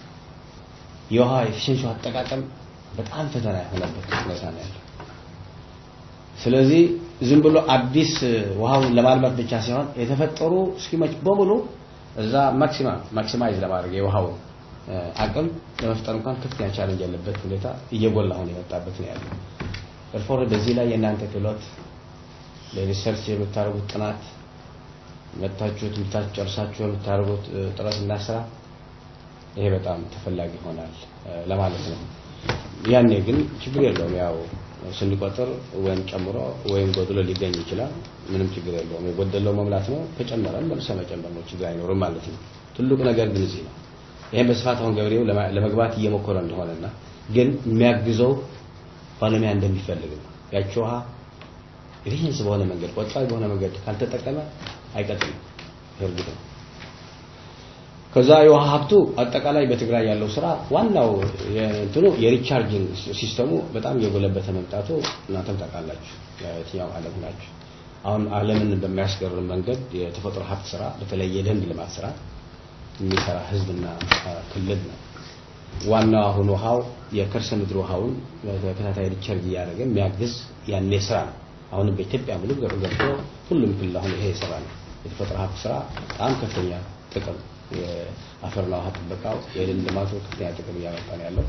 ለዋተር ባንክ እና መሰረት እያነጠፈም ለወደፊቱ ከፍተኛ እድል ለሚሰጥ አያት የሚቻል ይመስለኛል። ለመናገር ፈልጌ ነው ትንሽ ከእናንተ ጋር እያያዥ ለመናገር ፈልጌ ነው። ውሃው አሁን ትልቅ ነው ትንሽ አይደለም። አሁን የተጠራቀመ ውሃ በአንድ ወረዳ ላይ 50 ሊሆን ይችላል፣ ላይ 20 ሊሆን ይችላል። ኢንጀነራል ነው የተነሳ አንዱ ይሄኛው የሚያጠር ነው። ግን በእናንተ በኩል ስታዩት አሁን ከትምህርት ከዚህ ሄዳችሁ ሪሰርች መስራት የምትችል ከሆነ ምን ላይ መስራት አለብን የምትሉት እኛ ጋር ችግር ስለምናውቀው አንድ ነገር የውሃ አጠቃቀም ነው። ለምሳሌ ፖንዶች አሉ፣ ውሃ ብዙ ውሃ አለ፣ ግን አጠቃቀማችን ላይ በጣም ትልቅ ችግር አለ። ኤንቫይሮንመንታሊ ኢምፓክት አለው፣ ኔጌቲቭሊ ግን ፖዚቲቭሊ። ስለዚህ ይሄኛው ጓዳልም እንዳያስቀመጠው ይህን ያህል ውሃ አለን ይህን ያህል ሄክታር አለን ብንለው ስሞል ስፔስ ስለሆነ አሳደሩ ያለውን አጠቃቀም የውሃ አጠቃቀም ላይ ትልቅ ስራ ያስፈልገዋል። ሁለተኛ ስሞል ስኬል ኢሪጌሽን ማሲቭ ነው ወይም ደግሞ የጎል ስራ ነው ያለው ዲዛይን ላይ የሚነሳ ለምሳሌ የአሳደሩ እውቀትና የኢንጂነሪንግ እውቀት ሁለቱም አዛምደን ምን መስራት እንዳለብን ያሳይ ማለት ነው። እዚህ ላይ ሪሰርች ታደርጉ ጥሩ ስለዚህ ህዝቡ እየሰራ ነው፣ ልማት እያመጣ ነው። ግን ያን ነገር ኤፊሽንትሊ እየተጠቀመ ነው ወይ ሰስተንብል ነው ወይ ቅድም እንዳነሳው ቀጣይነት አለው ወይ ይሄን ስራ ቀጣይነት አለው ወይ በአንድ ጊዜ በካምፔይን ሆኖ የሚመጣ ነው ወይስ በቀጣይነት ለረጅም ዓመታት ቅድም እንዳለው 50 ዓመት የአርባ ዓመት እቅድ ካለን ያን የውሃ አጠቃቀማችንን ያን ሸክሞ ይችላል ወይ የሚለው ነገር ማየቱ ጠቃሚ ይመስለኛል። ሶስተኛ በውሃ አጠቃቀማችን ላይ ያለው ዋናው ነገር የእድገታችን ምንጭ የሰው ኃይል ነው። አንደኛው መሬትና ውሃ ናቸው። እነዚህ የእድገታችን ምንጭ የተዋሉት እነዚህ ሰዎች ሶስት ነገሮችን አቀናጅተን የመስራት አቅማችን ምን ያህል ያለው? የሰው ጉልበት አለ፣ ውሃው አለ፣ መሬት አለ። እነዚህ ሶስቱም አማጠን የመጠቀም ያለብን እንቅስቃሴ በኢንጂነሪንግ በኩልና በውሃ ሪሶርስ ማኔጅመንት ላይ በደንብ አድርጋችሁ ታይቶ ይመስለኛል። ለምሳሌ እኛ አካባቢ እኛ ዞን ላይ ሶስት አይነት ስራ ነው ያለን። አንደኛ ነገር ስፔስ ኢሪጌሽን መስራት የሚካሄድበት አካባቢ ነው። ውሃ ዝናብ ያለበትና ዝናብ አጠርና ቅድም የተባለው ሃይላንድ አካባቢ ደግሞ ዝናብ አለ። እነዚህ ሁለቱን አቀናጅቶ የመስራት ስራ ከእናንተ በሙያም በኢንጂነሪንግ ስራዎችን የህብረተሰቡን ተሞክሮዎች አሉ። እነዚህን ማቀናጀት በጣም ኢምፖርታንት ይመስለኛል። ስለዚህ አርሶ አደሩ ውሃው እንዴት ይጠቀማል? ምን ችግር አለው? ያን እንዴት አድርገን ነው በለጠ እንጠቀምበት የሚለው ነገር ከእናንተ በጣም ኢምፖርታንት ይመስለኛልና በዚህ ዙሪያ ሪሰርች ሰሩ ለእናንተም ይጠቅማቸዋል የሚል ሀሳብ ነው ያለኝ። አሁንም ታዘ ዝናባችን ኢራቲክ ነው። አንዴ በጣም ብዙ ነው ይዘንብና ያቋርጣል። ይህን ውሃ ያማቆርና ይህን ውሃ ደግሞ በደንብ አማጥሮ እየጠቀም ያለውን ሁለቱ ግን ማች አያደርግም። ስለዚህ በዚህ ላይ ነው ክፍተት የሚፈጠረው፣ በልማታችን ላይ ክፍተት የሚፈጠረው በዚህ ዙሪያ ስለሆነ ይሄኛው ማየት ጥሩ ይመስለኛል። ሶስተኛ የውሃ አጠቃቀም ቴክኖሎጂዎች ናቸው። አሁን እኛ ጋር አሉ ብዙ አሉ፣ ግን አዲስ ፈጠራ ያስፈልጋል። እንትኖቹ ቴክኖሎጂ ማለት ነው። ውሃ ተጠራቀመ ፖንድ ሊሆን ይችላል፣ ዳይቨርሽን ሊሆን ይችላል፣ ስሞል ስኬል ዳም ሊሆን ይችላል። እነዚህ ውሃ ወደ ገበሬው ማሳ ለማድረስ ያለን አቅም ምንድን ነው? ምን አይነት ቴክኖሎጂ ያስፈልጋል የሚለው ነገር ማየቱ በጣም ኢምፖርታንት ይመስለኛል። አሁን ትልቅ ችግር ያለው ምንድነው? ውሃ ያለበት አካባቢና ማሳው ያለበት አካባቢ ሁለቱም ማያቻ ያደርጉ ሪሶርሶች አይገናኙ። ስለዚህ እነዚህን የማገናኘት ስራም ጠቃሚ የሆነ ሪሰርችም ያስፈልጋል ነው። ይሄ ስፔሲፊክ ማድረግ ያለው ምንድነው? ቅድም አቶ አለም እንደገለጸው ከጀነራል ቪው ተነስታችሁ ወደ ስፔሲፊክ ስንገባ ከእያንዳንዳቸው የትምህርት ባህሪ ተያይዞ በሪሰርች መስራት ያለበት ምንድነው? ይህን ውሃ አሟጠን የመጠቀም ውሃውን ሪሶርስን እንደ ትልቅ እድገት የእድገት ምንጭ ካለው ይሄኛው አርሶ አደሩ 50 ደረሰ 30 ደረሰ አይደለም። ያን ውሃ ክሮፕ ዋተር ዋተር ሪኳርመንት ልማች ለማድረግ የሚያስፈልገው ስራዎች ግን በጣም ትልቅ ስራ ከባለሙያዎች ያስፈልጋል የሚል ሀሳብ ነው ያለኝና ይሄኛው ነው ለቤት የተገለጸው ስራ ባለሙያው ነው። ፖሊስ መካሪዎቹን ሊያነሱ ይችላሉ። ባለሙያው ግን ይሄን ወደ ዴብዝ ገብቶ የውሃችን ትልቅ ሪሶርስ ከወሰደው አጠቃቀማችን ላይ ደግሞ ትኩረት መስጠት ያለብን ይመስለኛልና በዚህ ላይ ብትሰሩ እኛም እዛ አካባቢ ያለን ውሃ ቢሮ ደግሞ በዋናነት አለ እዛ የትም አማራም ክልል ይሆን ኦሮሚያም ይሆን ደቡብ ይሆን ሶማሌም ክልል ይሆን ደግሞ ፖሊሲው አንድ አይነት እስከሆነ ድረስ ከአንድ ምንጭ የሚቀዳ ፖሊሲ እስከሆነ ድረስ በዚህ ላይ በአገሪቱ ያለው ችግር ይሄኛው ነው። የውሃ ችግር ብቻ አይደለም። የውሃውን አጠቃቀምና የውሃውን በደንብ አድርገን ከክሮፕ ጋር አዛምደን የመጠቀም ችግር ግን ትልቅ ችግር እንደሆነ በሀገራችን ማየት አለብን።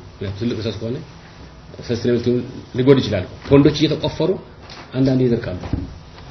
ቅድም የናቹራል ስራዎች እየሰሩ መሆናቸው ይጨምራሉ። ግን ያን ነገር በደንብ አድርገን ካልጠቀም ካላየ ነው አንዳንድ ሄደ ሄደው የመቆም ባህሪ ሊፈጠር ስለሚችል በዚህ ላይ ብትሰሩ ጥሩ ነው እና ስስቴናብሊቲ የሚሰራው ማን ነው? ባለሙያ ነው ማለት ነው። ያን ነገር ስለሆነ ከኢንቫይሮንመንት ጋር ያይዛችሁ ሪሰርች ታደርጉ የበለጠ ጥቅም ያመጣል የሚል አስተያየት ነው ያለኝ አንጻር። Okay, so again, a very brief summary. So I think uh, when it comes to the question of Professor Charlotte, uh, well, what Mr. Alem said is that when the government develops growth and transformation plans, starting from GTP1, then the first question it asks when it puts something on the, on the paper is uh, identifying the major bottlenecks to implement those plans. So obviously capacity building had been both in GTP1 and then further in GTP2 because we are going into high-tech, capital-intensive, large and medium-scale developments. Then capacity building has actually been identified actually as one of the major bottlenecks in water resource development of the, the country. So uh, as a result, in GTP2, which is under discussion, which is, will be revealed, maybe I think in the coming two months, uh, had taken capacity building as one of the major issues. And this capacity building has been addressed separately in the GTP2. And then what it has done is actually, it has identified the number of professionals, not only in water resource development, but we are talking about water resource development, but what are the capacities required to implement the plans of the various sectoral development programs has been identified. And then further, it has identified actually like the percentage of uh, those trainings which can be taken up eh, within the country and that can had to be taken up actually out, outside the country like in countries like Ethiopia. It even has also identified or calculated the financial demand in order to meet actually those capacity buildings. And of course he finally tied up things that in UNESCO IHE had been helping uh, the government of uh, Tigray region and others in making sure this capacity development actually becomes a reality and the government actually uh, uh, thanking what had been done still wants IHE to uh, go into this capacity development endeavor both out here and even actually ba- back in, in, in our country in joint programs more vigorously in order to make sure that these growth and transformation plans are realized. Uh, I think coming back to Tasfai's question, uh, by the way, I was uh, one of the experts who had been involved in the development of the second growth and Tran- transformation plan of uh. I was in fact actually the chairman of the team. Uh, so I had actually a good overview of how it has been developed and what the major assumptions were. So I think quite fairly uh, we can we can we can be able to reach into that 50 percent uh, development in irrigation out of actually the current uh, uh, holdings actually within- the region. Because we are now moving uh, well from like the labor intensive low capital investment into high tech investments as well, as well including water transfer actually from big dams uh, not only to irrigation development but also for water water supply. We are thinking of developing water resource development on corridor basis so few cities and villages can be connected from one source. So even if there is no water source in one area, as long as there is water source in another, then we have to go into that endeavor. Otherwise, the small scale, uh, labor intensive indigenous developments have already been utilized. So if we need to make sure that industry takes up the leadership in economy in the coming 10 years, then the only way we have is to go into higher level of development. And of course, now, of course, as uh, Mr. Haile said, you obviously will become the key in making sure that that challenge is obviously uh, tackled and, and uh, implemented. So, uh, how is the government planning to do it? On one hand, is modernization. The existing irrigation schemes are underutilized. Underutilized because of poor design and construction, underutilized because of poor water management. So the first thing is how can we improve the performance of the existing irrigation schemes is going to be one of the key elements in the growth and transformation plan to integrate region.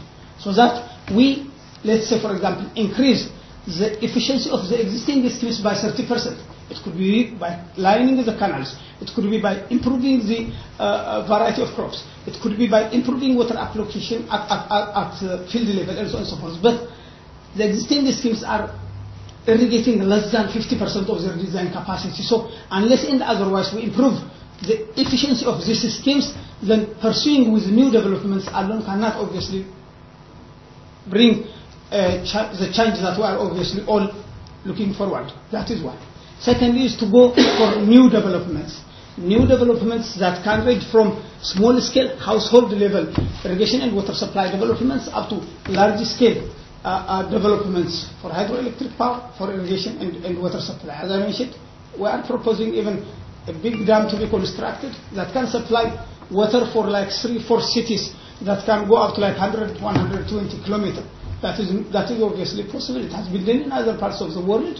Why not in us with the huge potential that we have? So uh, with that direction, with that direction and with what had been already mentioned of the major design and research challenges that you are expected to tackle, uh, as mentioned by Mr. Haile, I think uh, it should be possible.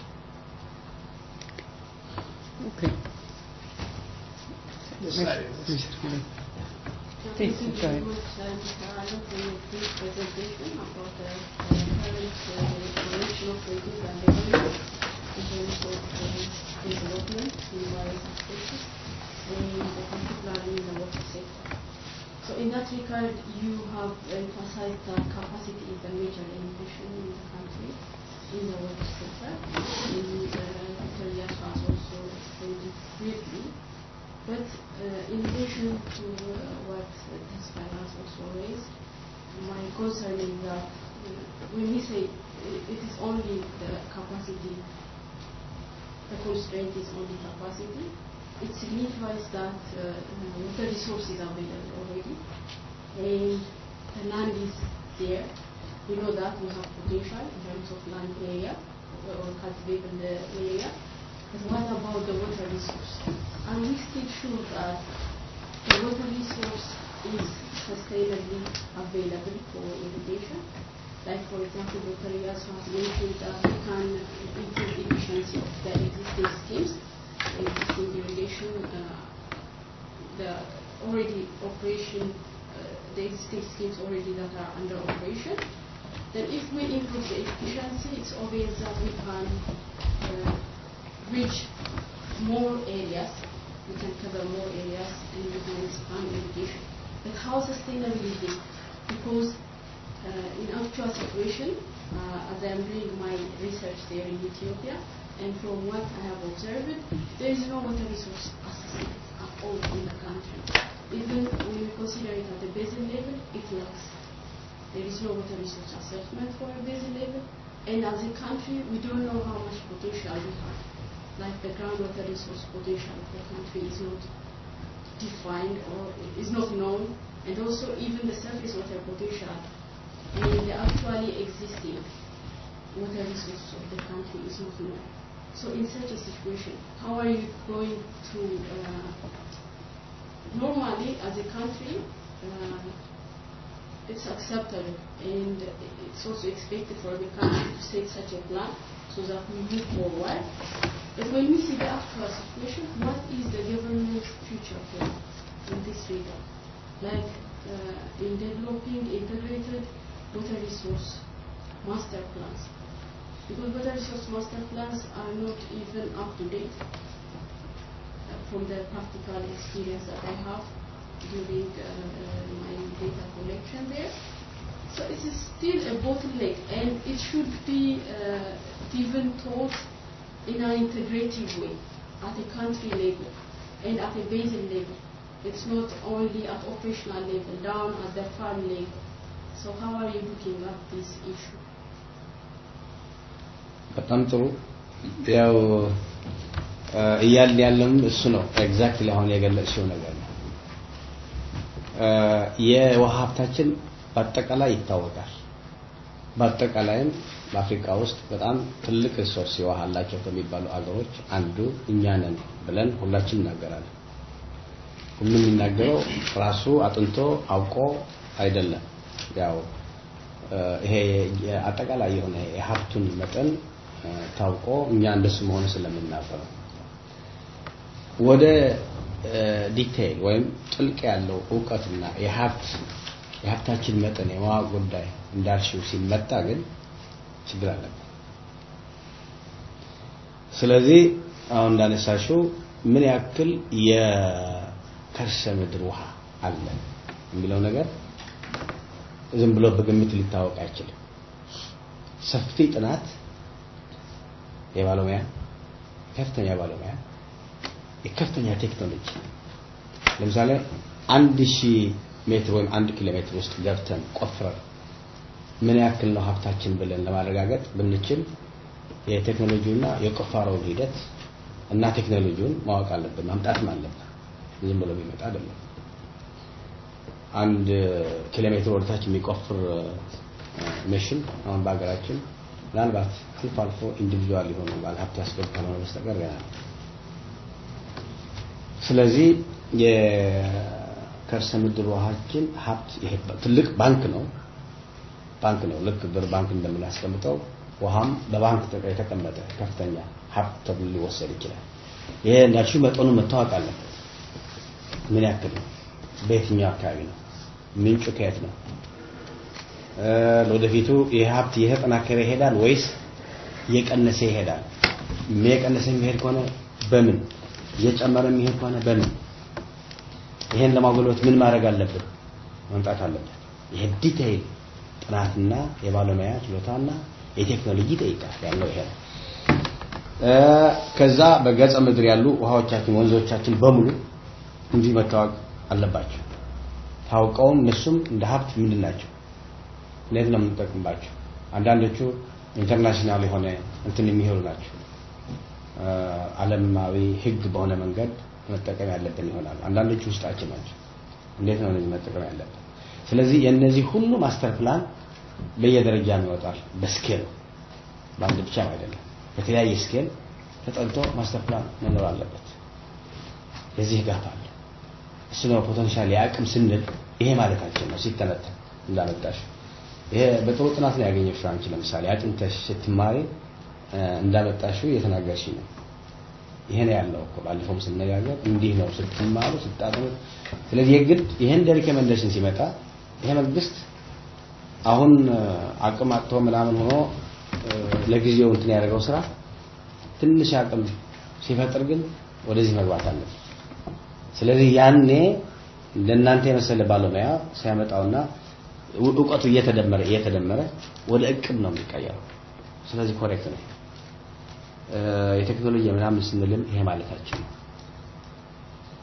እንደገና ይሞካከራል። ለምሳሌ ትላልቅ ቤዝንስ አሉ እና አንዳንዶቹ የራሳቸው አውቶሪቲ አላቸው። ለምሳሌ የአዋሽ ወንዝ የራሱ አውቶሪቲ አለ። አሁን የተከዘ አውቶሪቲ በአዋጅ በህግ እንደገና የራሱ አውቶሪቲ ሊቋቋምለት ነው። በአማራ ገጽ አለ፣ በትግራይ ገጽ በኩል የቀረው አለ እና ሁለቱም እንትን የሚያደርግ በዚህም ይወጣል። እንትን ማነው አውቶሪቲ ይቋቋማል ወደፊት ተፋሰስ ማለት ነው። በእንትና የአባይ ተፋሰስም አለ። የተሟሉ አይደሉም። ስለዚህ እነኚህም የተሟሉ ሲሆኑ እነኚህ ባለስልጣናት እያንዳንዱ ተፋሰስ ያው ከፍተኛ ባለሙያ እና ቴክኖሎጂ በመያዝ ይህን ዲቴይል እየሰሩ ይሄዳሉ። ወደ ያን የተደመረ የአገሪቱ አቅም ምን ያክል ነው በከርሰ ምድር በጠቀ ምድር ተብሎ የተለየ ለጥቅም እየዋለ ይሄዳል። ራስ ዋይ ቢግ ቻሌንጅ የምንለው በሳክር አካባቢ በዚህ ሰክር አንቺ ያመጣሽውን ነገር ቻሌንጅ ከፍተኛ ስላለበት ነው። መልስን በደንብ ትናደርግ የኮንክ ማለት ነው። Yeah, uh, well, in a way, Ade Mr. Allen for her PhD. so it's like a question. Uh, but anyway, when it comes uh, to the answer, uh, especially what, what I, I said and what Mr. Allen earlier said, when he and myself said that capacity building is a major challenge, because we were responding to a specific question. So one question was that is capacity building given attention in GTP2? So one of the major challenges given more attention in GTP2 is capacity building. So it we're not excluding other challenges, but we're mentioning the focus given to capacity building. So obviously what you said about water resource assessment and master plan development is definitely one of the challenges, even that we are putting in the Tigray Growth and Transformation Plan two. Because what Mr. Alan said is that the general water resource potential of the country is known, obviously, from various studies. But the detailed assessment of the detailed assessment and planning of actual water resource development, especially at basin scale, is lacking. And there is a good answer for it. The government was more focused on development, eradicating poverty, making sure that actually household gets something to eat at daily, daily level. But then, as obviously now are progressing into another level, then detailed assessment of water resource and integrated planning of land and water development obviously becomes the major important issue. That's why the government is currently very active in establishing river basin authorities. Authorities which are responsible for studying, planning, designing and implementing water and land resource projects within a watershed basis, basin, basin, even if it is actually large scale. So definitely we hope ADE will come with a good recommendation on how. Obviously yes, because that is how it comes. Without things coming into the ears of our decision makers, then it doesn't work. So I'm 100% sure because I reviewed your proposal and I knew it is actually one of uh, the first in its kind for uh, the Awash study special. So I hope it will have a significant impact in the designing of the water resource planning, the water resource management aspect of actually, I think, uh, our country. So maybe I think later on, I think further discussion is very important. Okay, okay. With that, with that and also in, in view of time, I, I, I hope after after the official part we can still interact. But I, I would I would like to to move on. Uh, I, according to the program, is that still uh, Dr. Iyasu and Dr. Abraham who is going to give us an overview and research and joint, basically a joint pre- uh, presentation by Mekelle and UNESCO. So please uh, take the floor. Okay.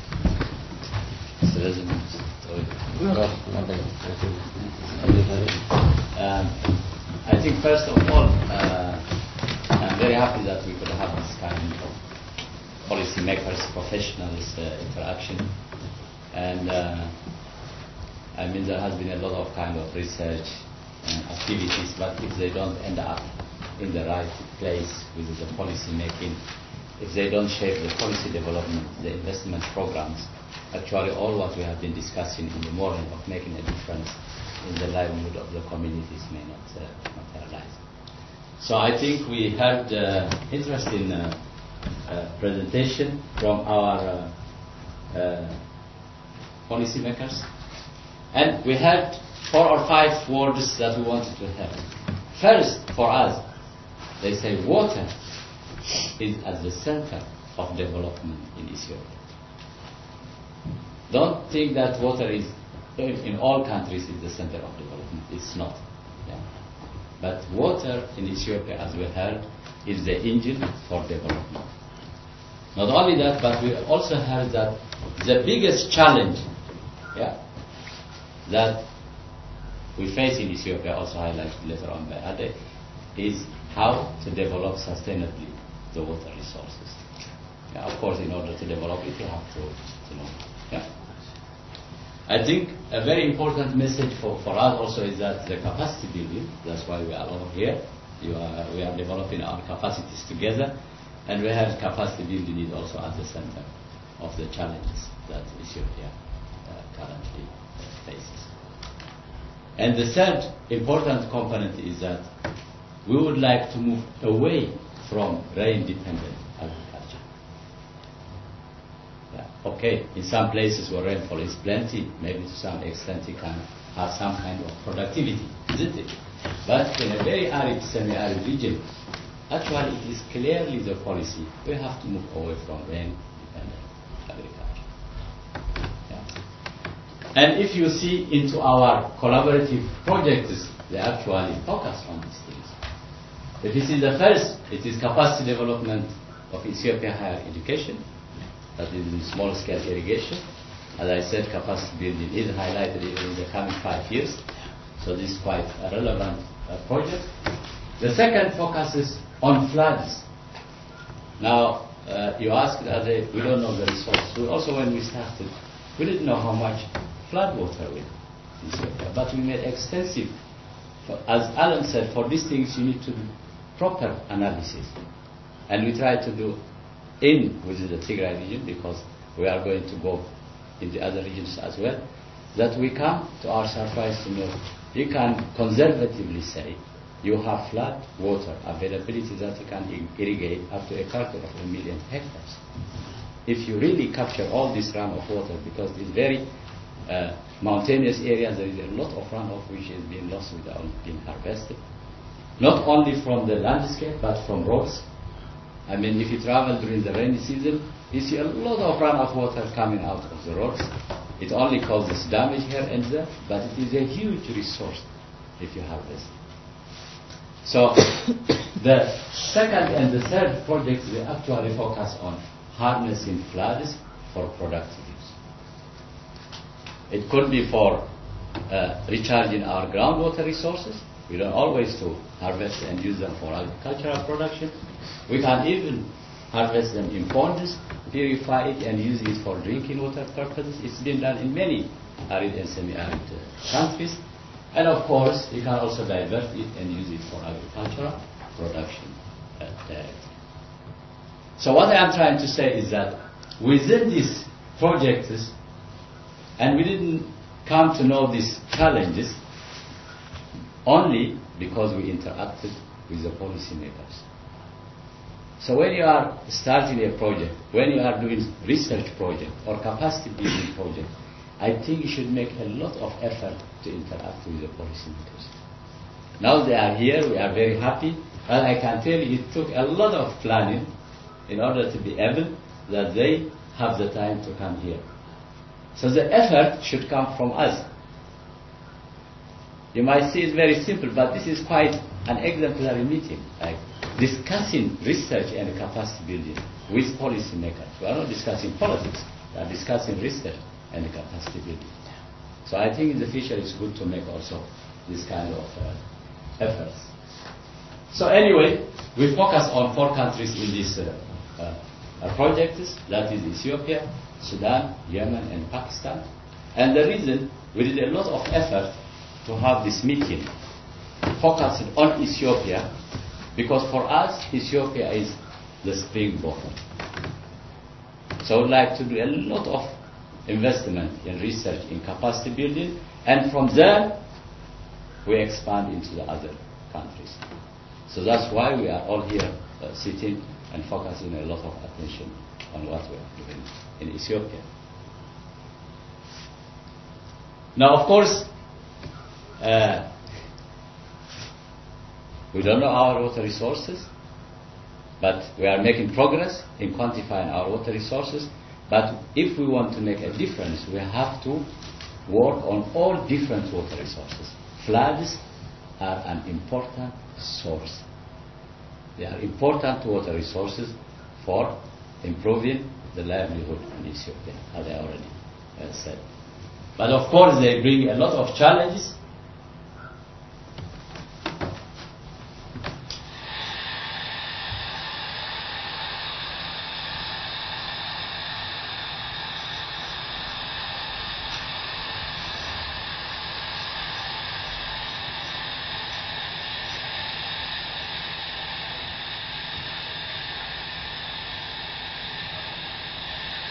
So actually the purpose of this is that you might expect water to come through your gates, but then the water will come over your structure. So it's a very huge challenge. And if you want to make a difference, you have to solve the biggest challenge. It's not like the easy flowing rivers, the you know, annual rivers which are easy to manage. If you can actually come up with a technology, with a design, and if you have the capacity to manage very huge destructive floods and make use of them for productive use, I think then you can also learn from that in order to implement it into much lesser challenges of water resource. The other important or the other challenge is the sediment.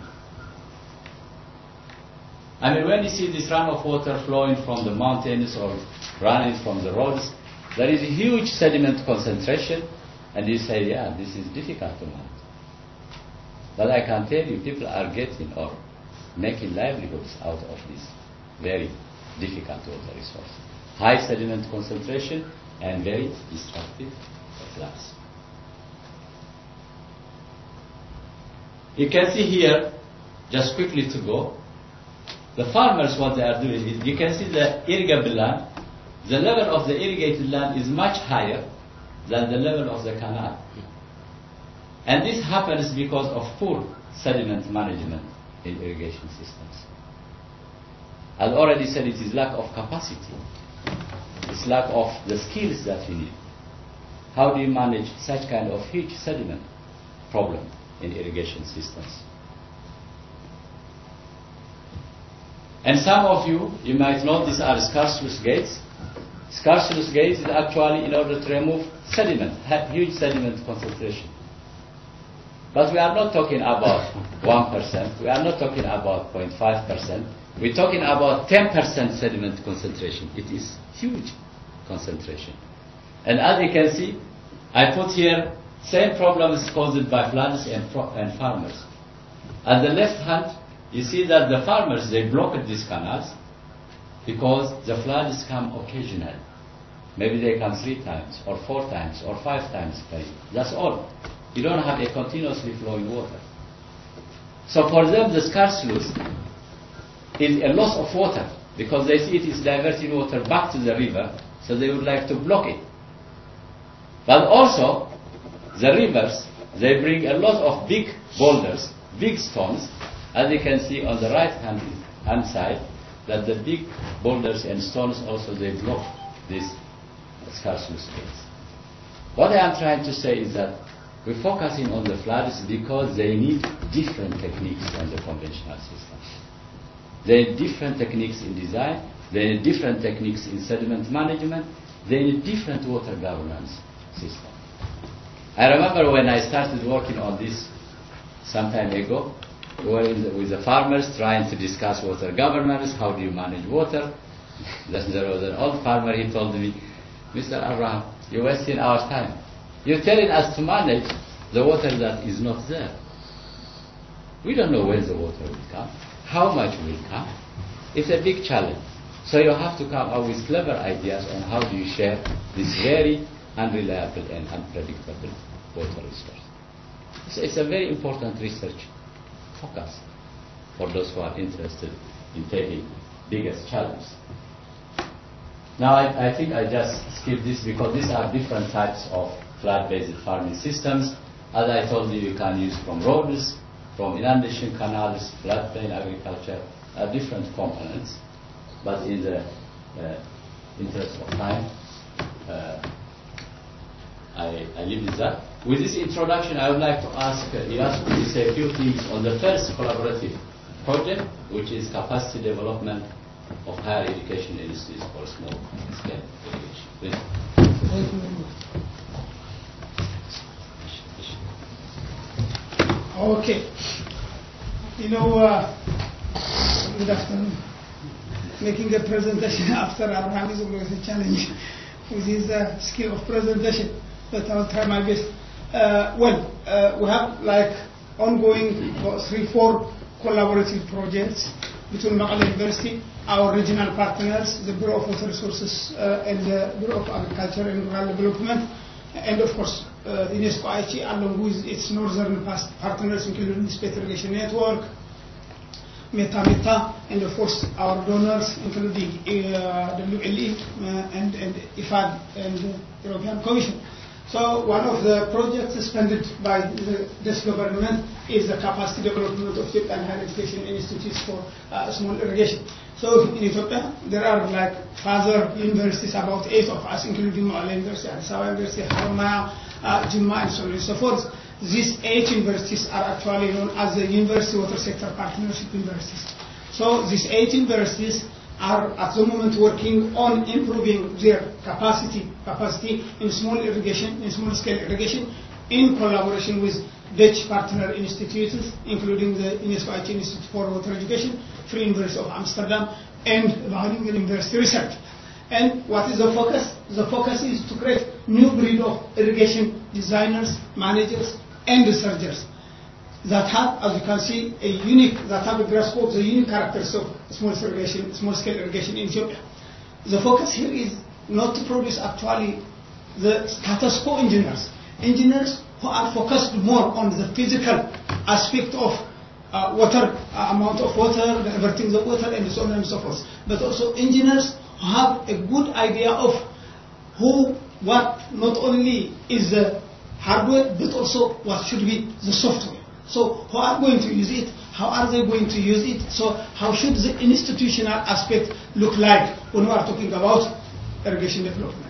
So not only that, these engineers also should be able to understand what is that irrigation development going to be used for. So they shouldn't, let's say, simply use the CROPWAT model and then know that there is this amount of water required, so I have to level this amount. No, that's not the case.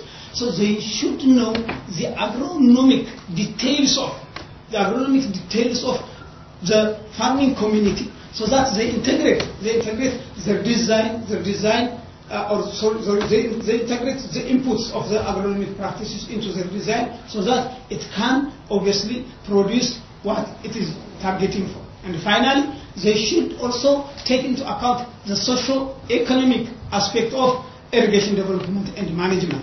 So they shouldn't simply development, develop it based on their scientific skill, but also they should include the indigenous knowledge. They should also consult the communities so that the skills are developed when they serve for sustainably for their, their purpose. And the ultimate issues that are going to be addressed in this project in the coming, I don't know now, four years from now maybe, uh, because it's a five-year project, is, uh, are about, I think, three. The first is to develop MSc curriculum in small-scale irrigation. And then we start to pilot run it in 2015, October. And it starts in Arba Minch University. So there are eight universities.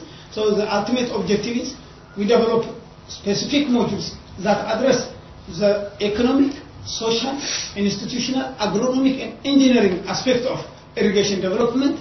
And then we train our students, our MSc graduates, in a practical, in a practical oriented manner, uh, uh, as of as of next year. Uh, no, this year I think 2015 in, in, in October. And the, the first program will start in Arba University. So two undergraduate students, sorry, uh, staff members from the eight universities will be sponsored by, by, by, by, by, by their university and this project to start their uh, uh, uh, program in uh, uh, Arba and then they are going to be used as change agents, change agents to start that program in all eight universities in Ethiopia. And then in the years to come, it will be expanding.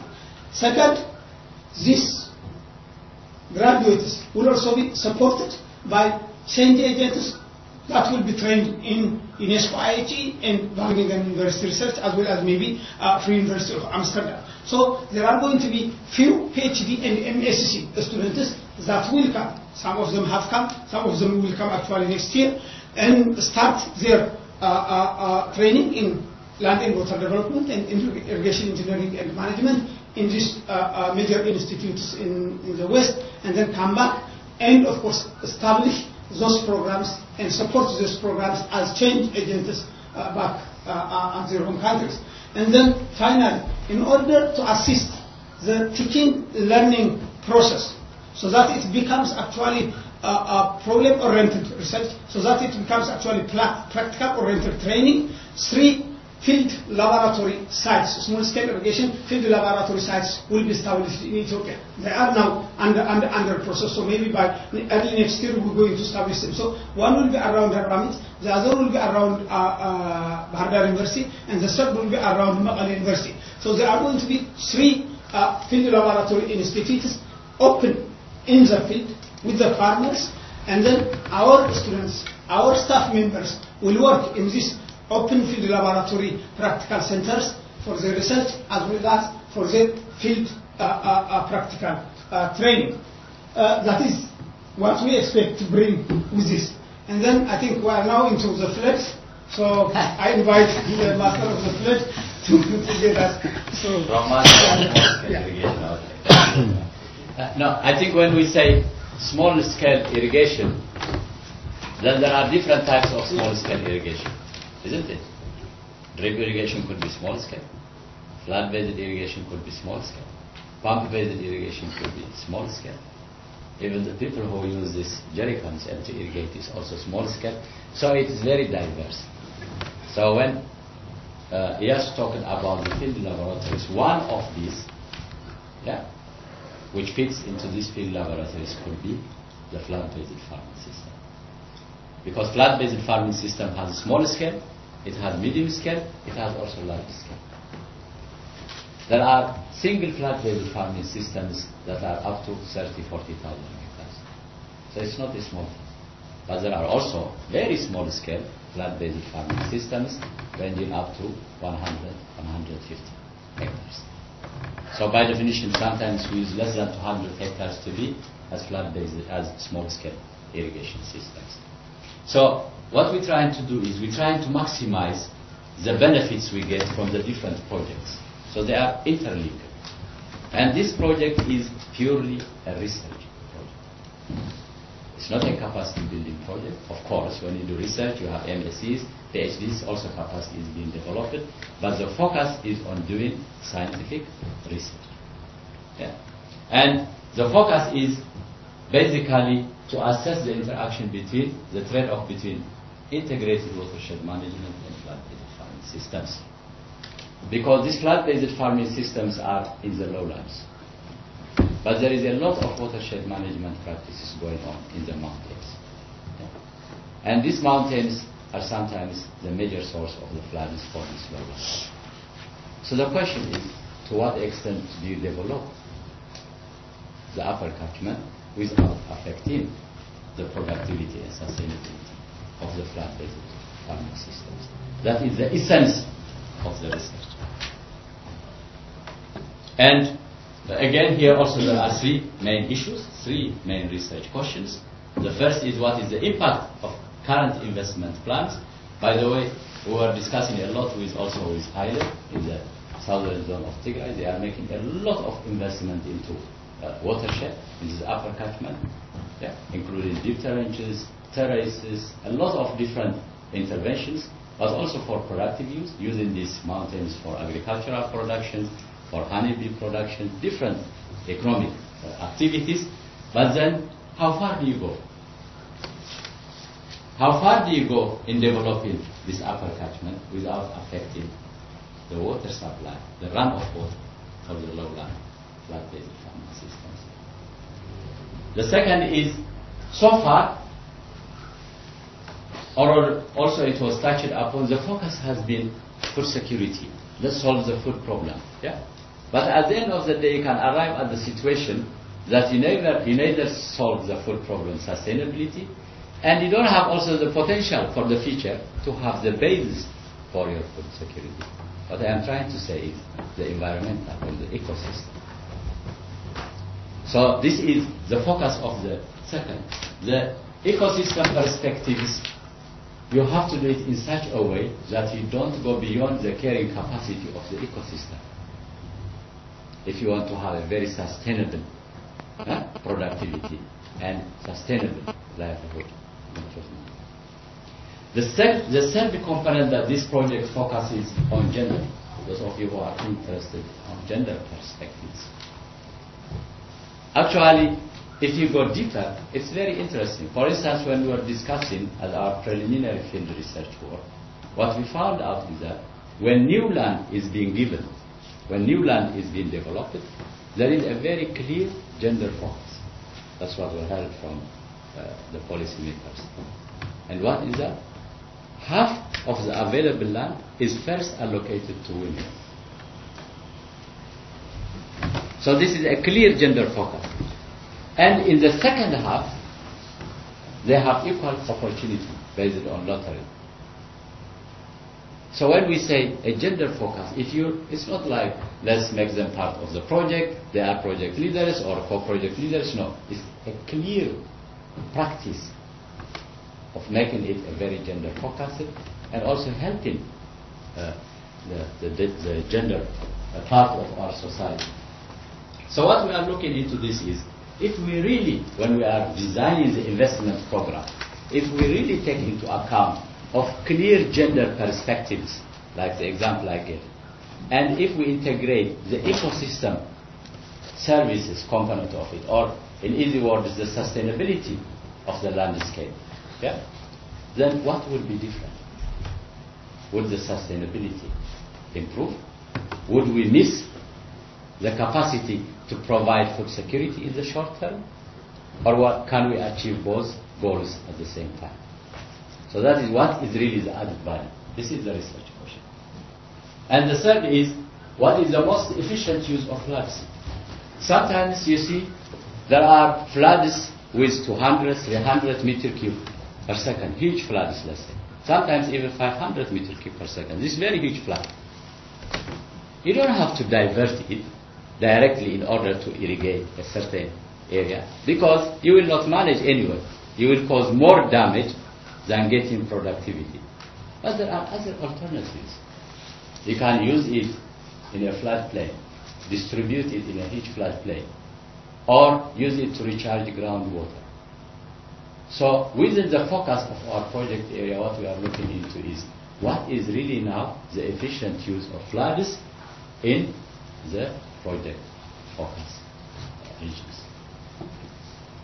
So as I said, this is a very clear research project, and these are the three key focus of this research project. The last is what we call it Africa to Asia and back again. This actually is a very huge project, uh, and uh, we have a lot of ambitious outcomes that we would like to harvest from this. Actually, when we started from this and we were submitting this to IFAD, they were very surprised. We say Africa to Asia and back again. Say, what are you going to give back to Asia? They have developed agriculture. well, uh, of course, there is a lot Africa to give back to Asia. And actually, it is a political decision to say Africa to Asia. To show that we can also, Africa also can deliver. It's not only getting back.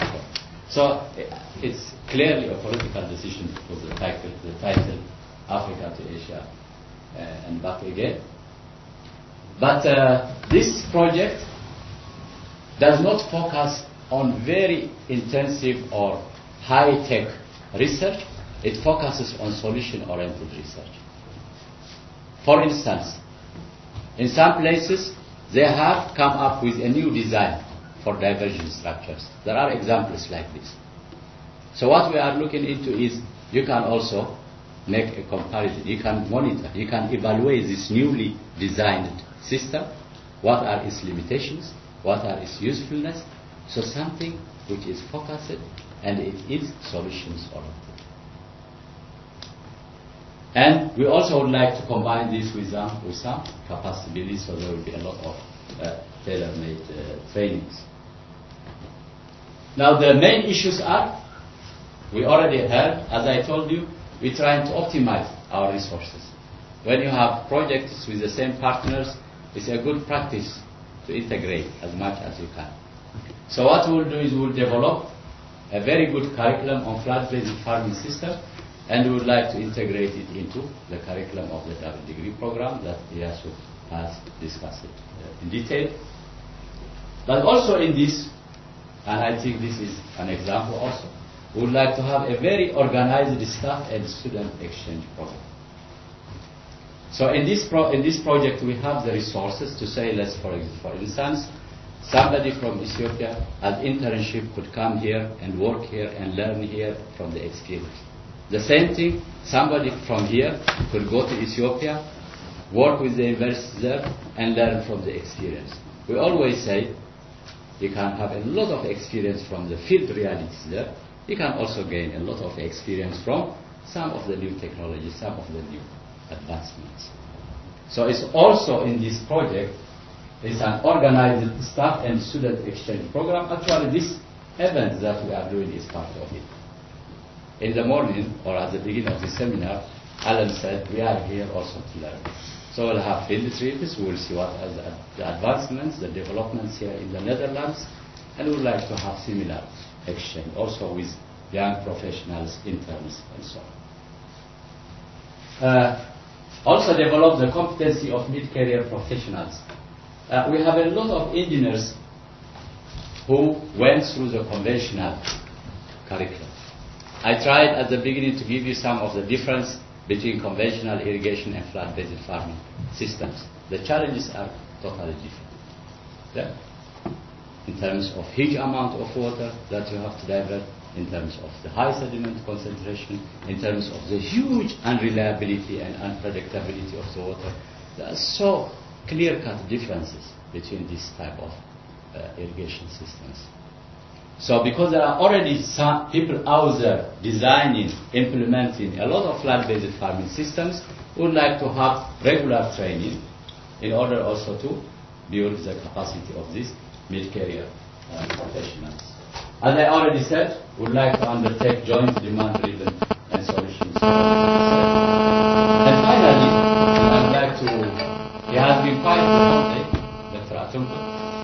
Dr. Atunko is always quiet, but he is the smartest guy, by the way. And uh, the last point, we're working towards the establishment of African Center of Excellence in flood-based farming systems. And I think Atunkuti can give some more help. Thank you, Abraham. Uh, good afternoon, everybody. Uh, just to give you some idea about uh, this initiative, African Center of Excellence. This is an initiative uh, from World Bank, and uh, there is an experience, mainly from the West Africa, uh, to establish some center of excellences in different countries that can serve uh, as a capacity building from different experts coming from different uh, parts of Africa. And this time it is time for East Africa and South. And it's not free, but it is allocated or given a chance to a few countries. And that is just one of the criteria. And Ethiopia is among, among them. And there are some countries like Kenya and other, other countries as well. And it's not purely also just uh, open call, but it needs also a consent from the government. Just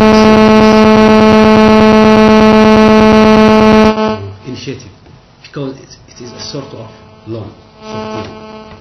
And if uh, yes, you remember Mr. Alem's presentation, uh, I mean, uh, the government is uh, thinking as uh, capacity is one of the challenges. And when we brought this one to government, our ministry, Minister of Finance, said, okay, we agree, we can accept it. And Ethiopia as a government just, wrote a letter, a consent letter. We need it. And the World Bank, uh, the World Bank accepted this uh, letter. And it means Ethiopia is eligible. Just can get a fund which is very huge to uh, build a certain center of excellence at different universities in, uh, in the country. And the other point is it's not only the government but the professional career because we are talking about center of excellence. It means you, you, you have enough professionals.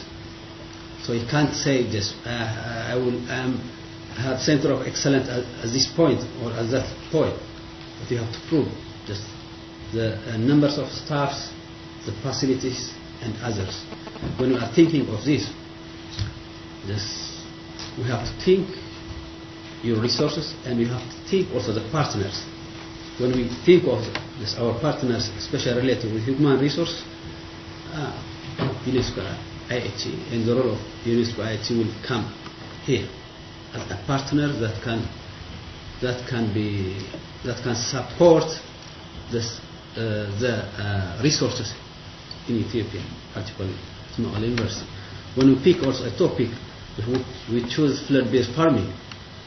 This is not a new, but relatively when we compare to East Africa, we can say, we can claim, just this is our center of excellence, especially when we relate with integrated watershed management.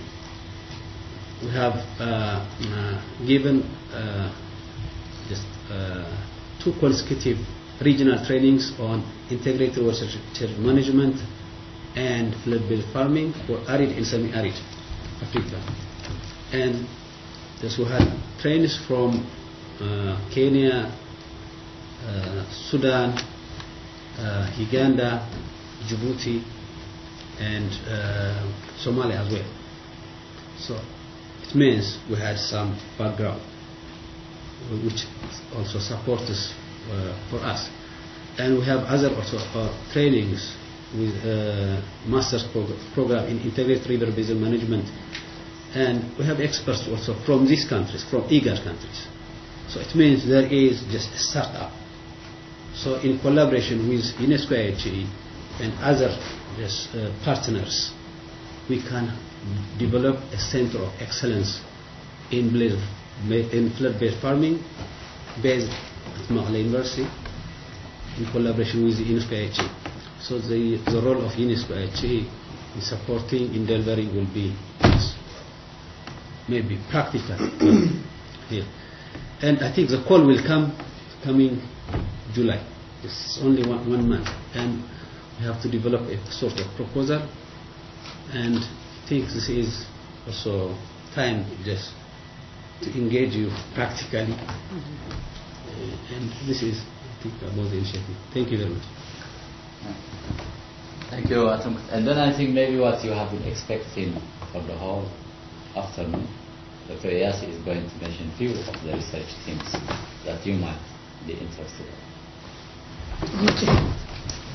UNESCO IHE Mekelle University back again, I think. so uh, I think this uh, element raised by Attenkut uh, about the Center of Excellence is a very hot issue at the moment because uh, Ethiopia has been already eligible and World Bank is going to grant some money, like between two to six million dollar per institute, but then you have to fight for it.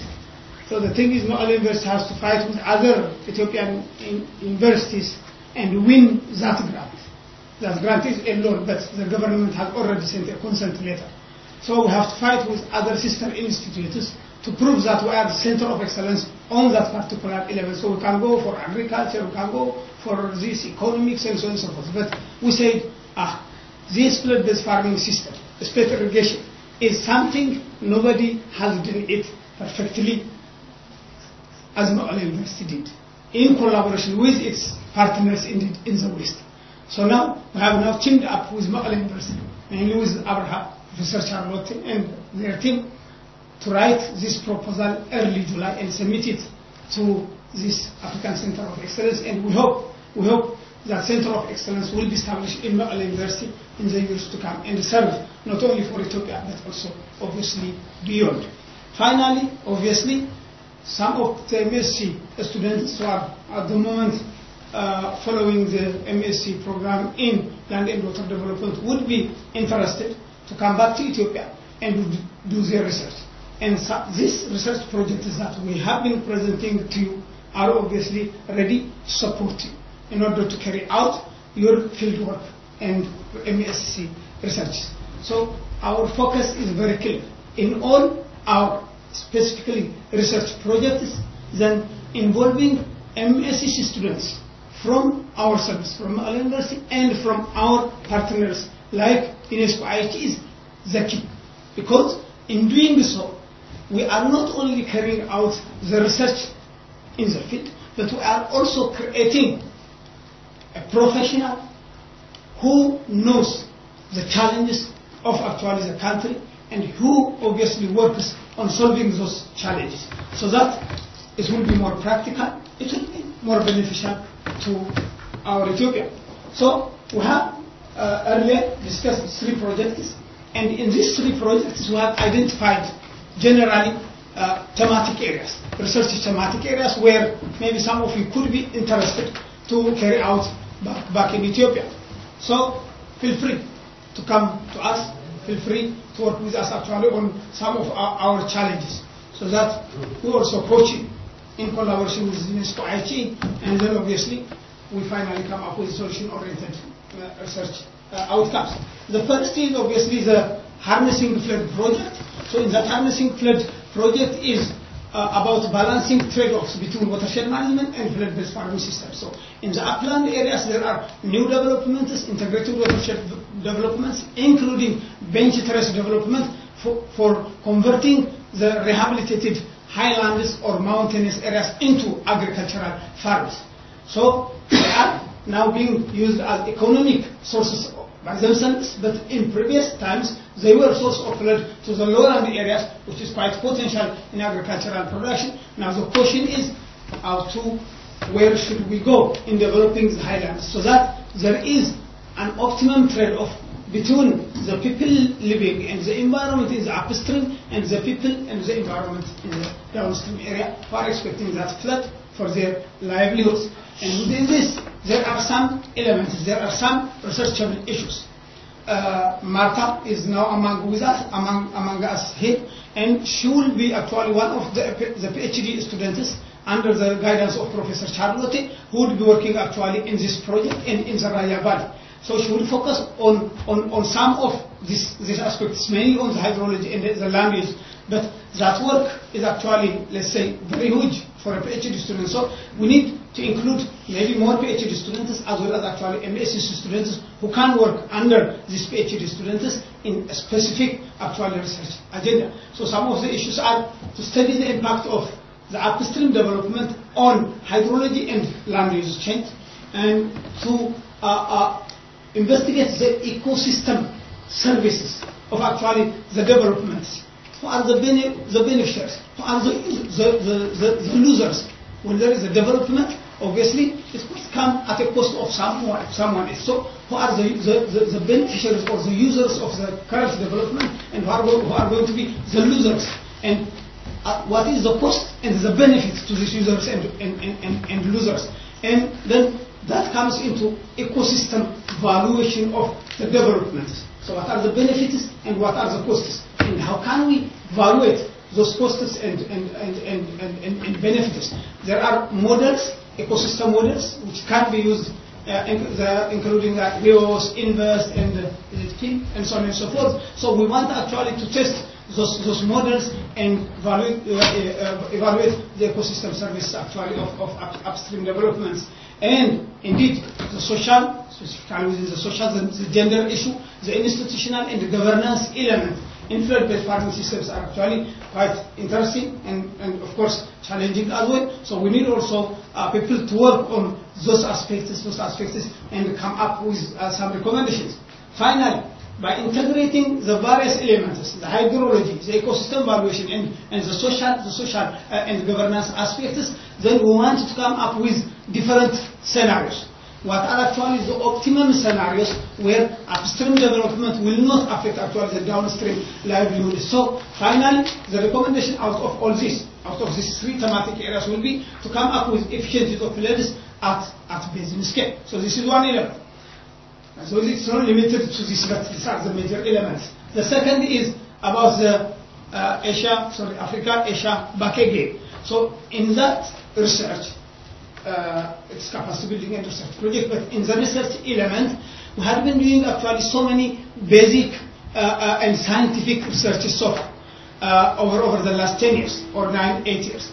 Now the question, we, we have reached at a point where we need actually to come up with solution-oriented research outcomes that can be used at grassroots level by the farmers so that the viability of our network, the viability of our research is act- actually possible. It's possible uh, to integrate with agricultural research centers. I think I came from agricultural research center and mm, we have some uh, plans to do like that and if it's uh, good, it's better to link this project with agricultural research centers. and also thank you for uh, initial ideas. And I'm very interested to not only me and my friends will be doing this. Okay, thank you. I think for your information, we work with agricultural research centers also. So you remember Professor Charlotte in our launching event? Yeah. I think one of the major stakeholders who were invited in defining the most important, you know, like action plans was uh, Agricultural uh, Research Institute. So forcefully, yes, no question about that. Okay. All right. With that, I actually, in, in terms of time, I think we should at least close the formal setting. I hope that people maybe have some chances to interact with either uh, uh, Abraham, Dr. Eyasu, uh, Dr. Attenkut, but of course with, uh, also with, uh, with Mr. Heile and uh, uh, Mr. Alem. Alem, sorry. Uh, it's it's already late in the in the afternoon. It's it's getting. so you you should know that the Dutch people, the Dutch people, they are very strange. They eat at six six o'clock in the afternoon. so so actually, I mean, the Dutch people here, they they feel already like oh my God, their, their energy level going down. And uh, that's, that's the two of us. even even there's there's Dutch people who, who eat at five o'clock in the afternoon their main meal. So so so. But with that, I'm I'm actually. uh, I would like to thank uh, thank Mr. Heile, Mr. Adam, uh, for for your really extensive explanation on the on the GTPs and, and the issues in in uh, Ethiopia, and of course I would like to thank you for coming and uh, sharing your thoughts with with us. And uh, so thank you. With that, I would like to close this session.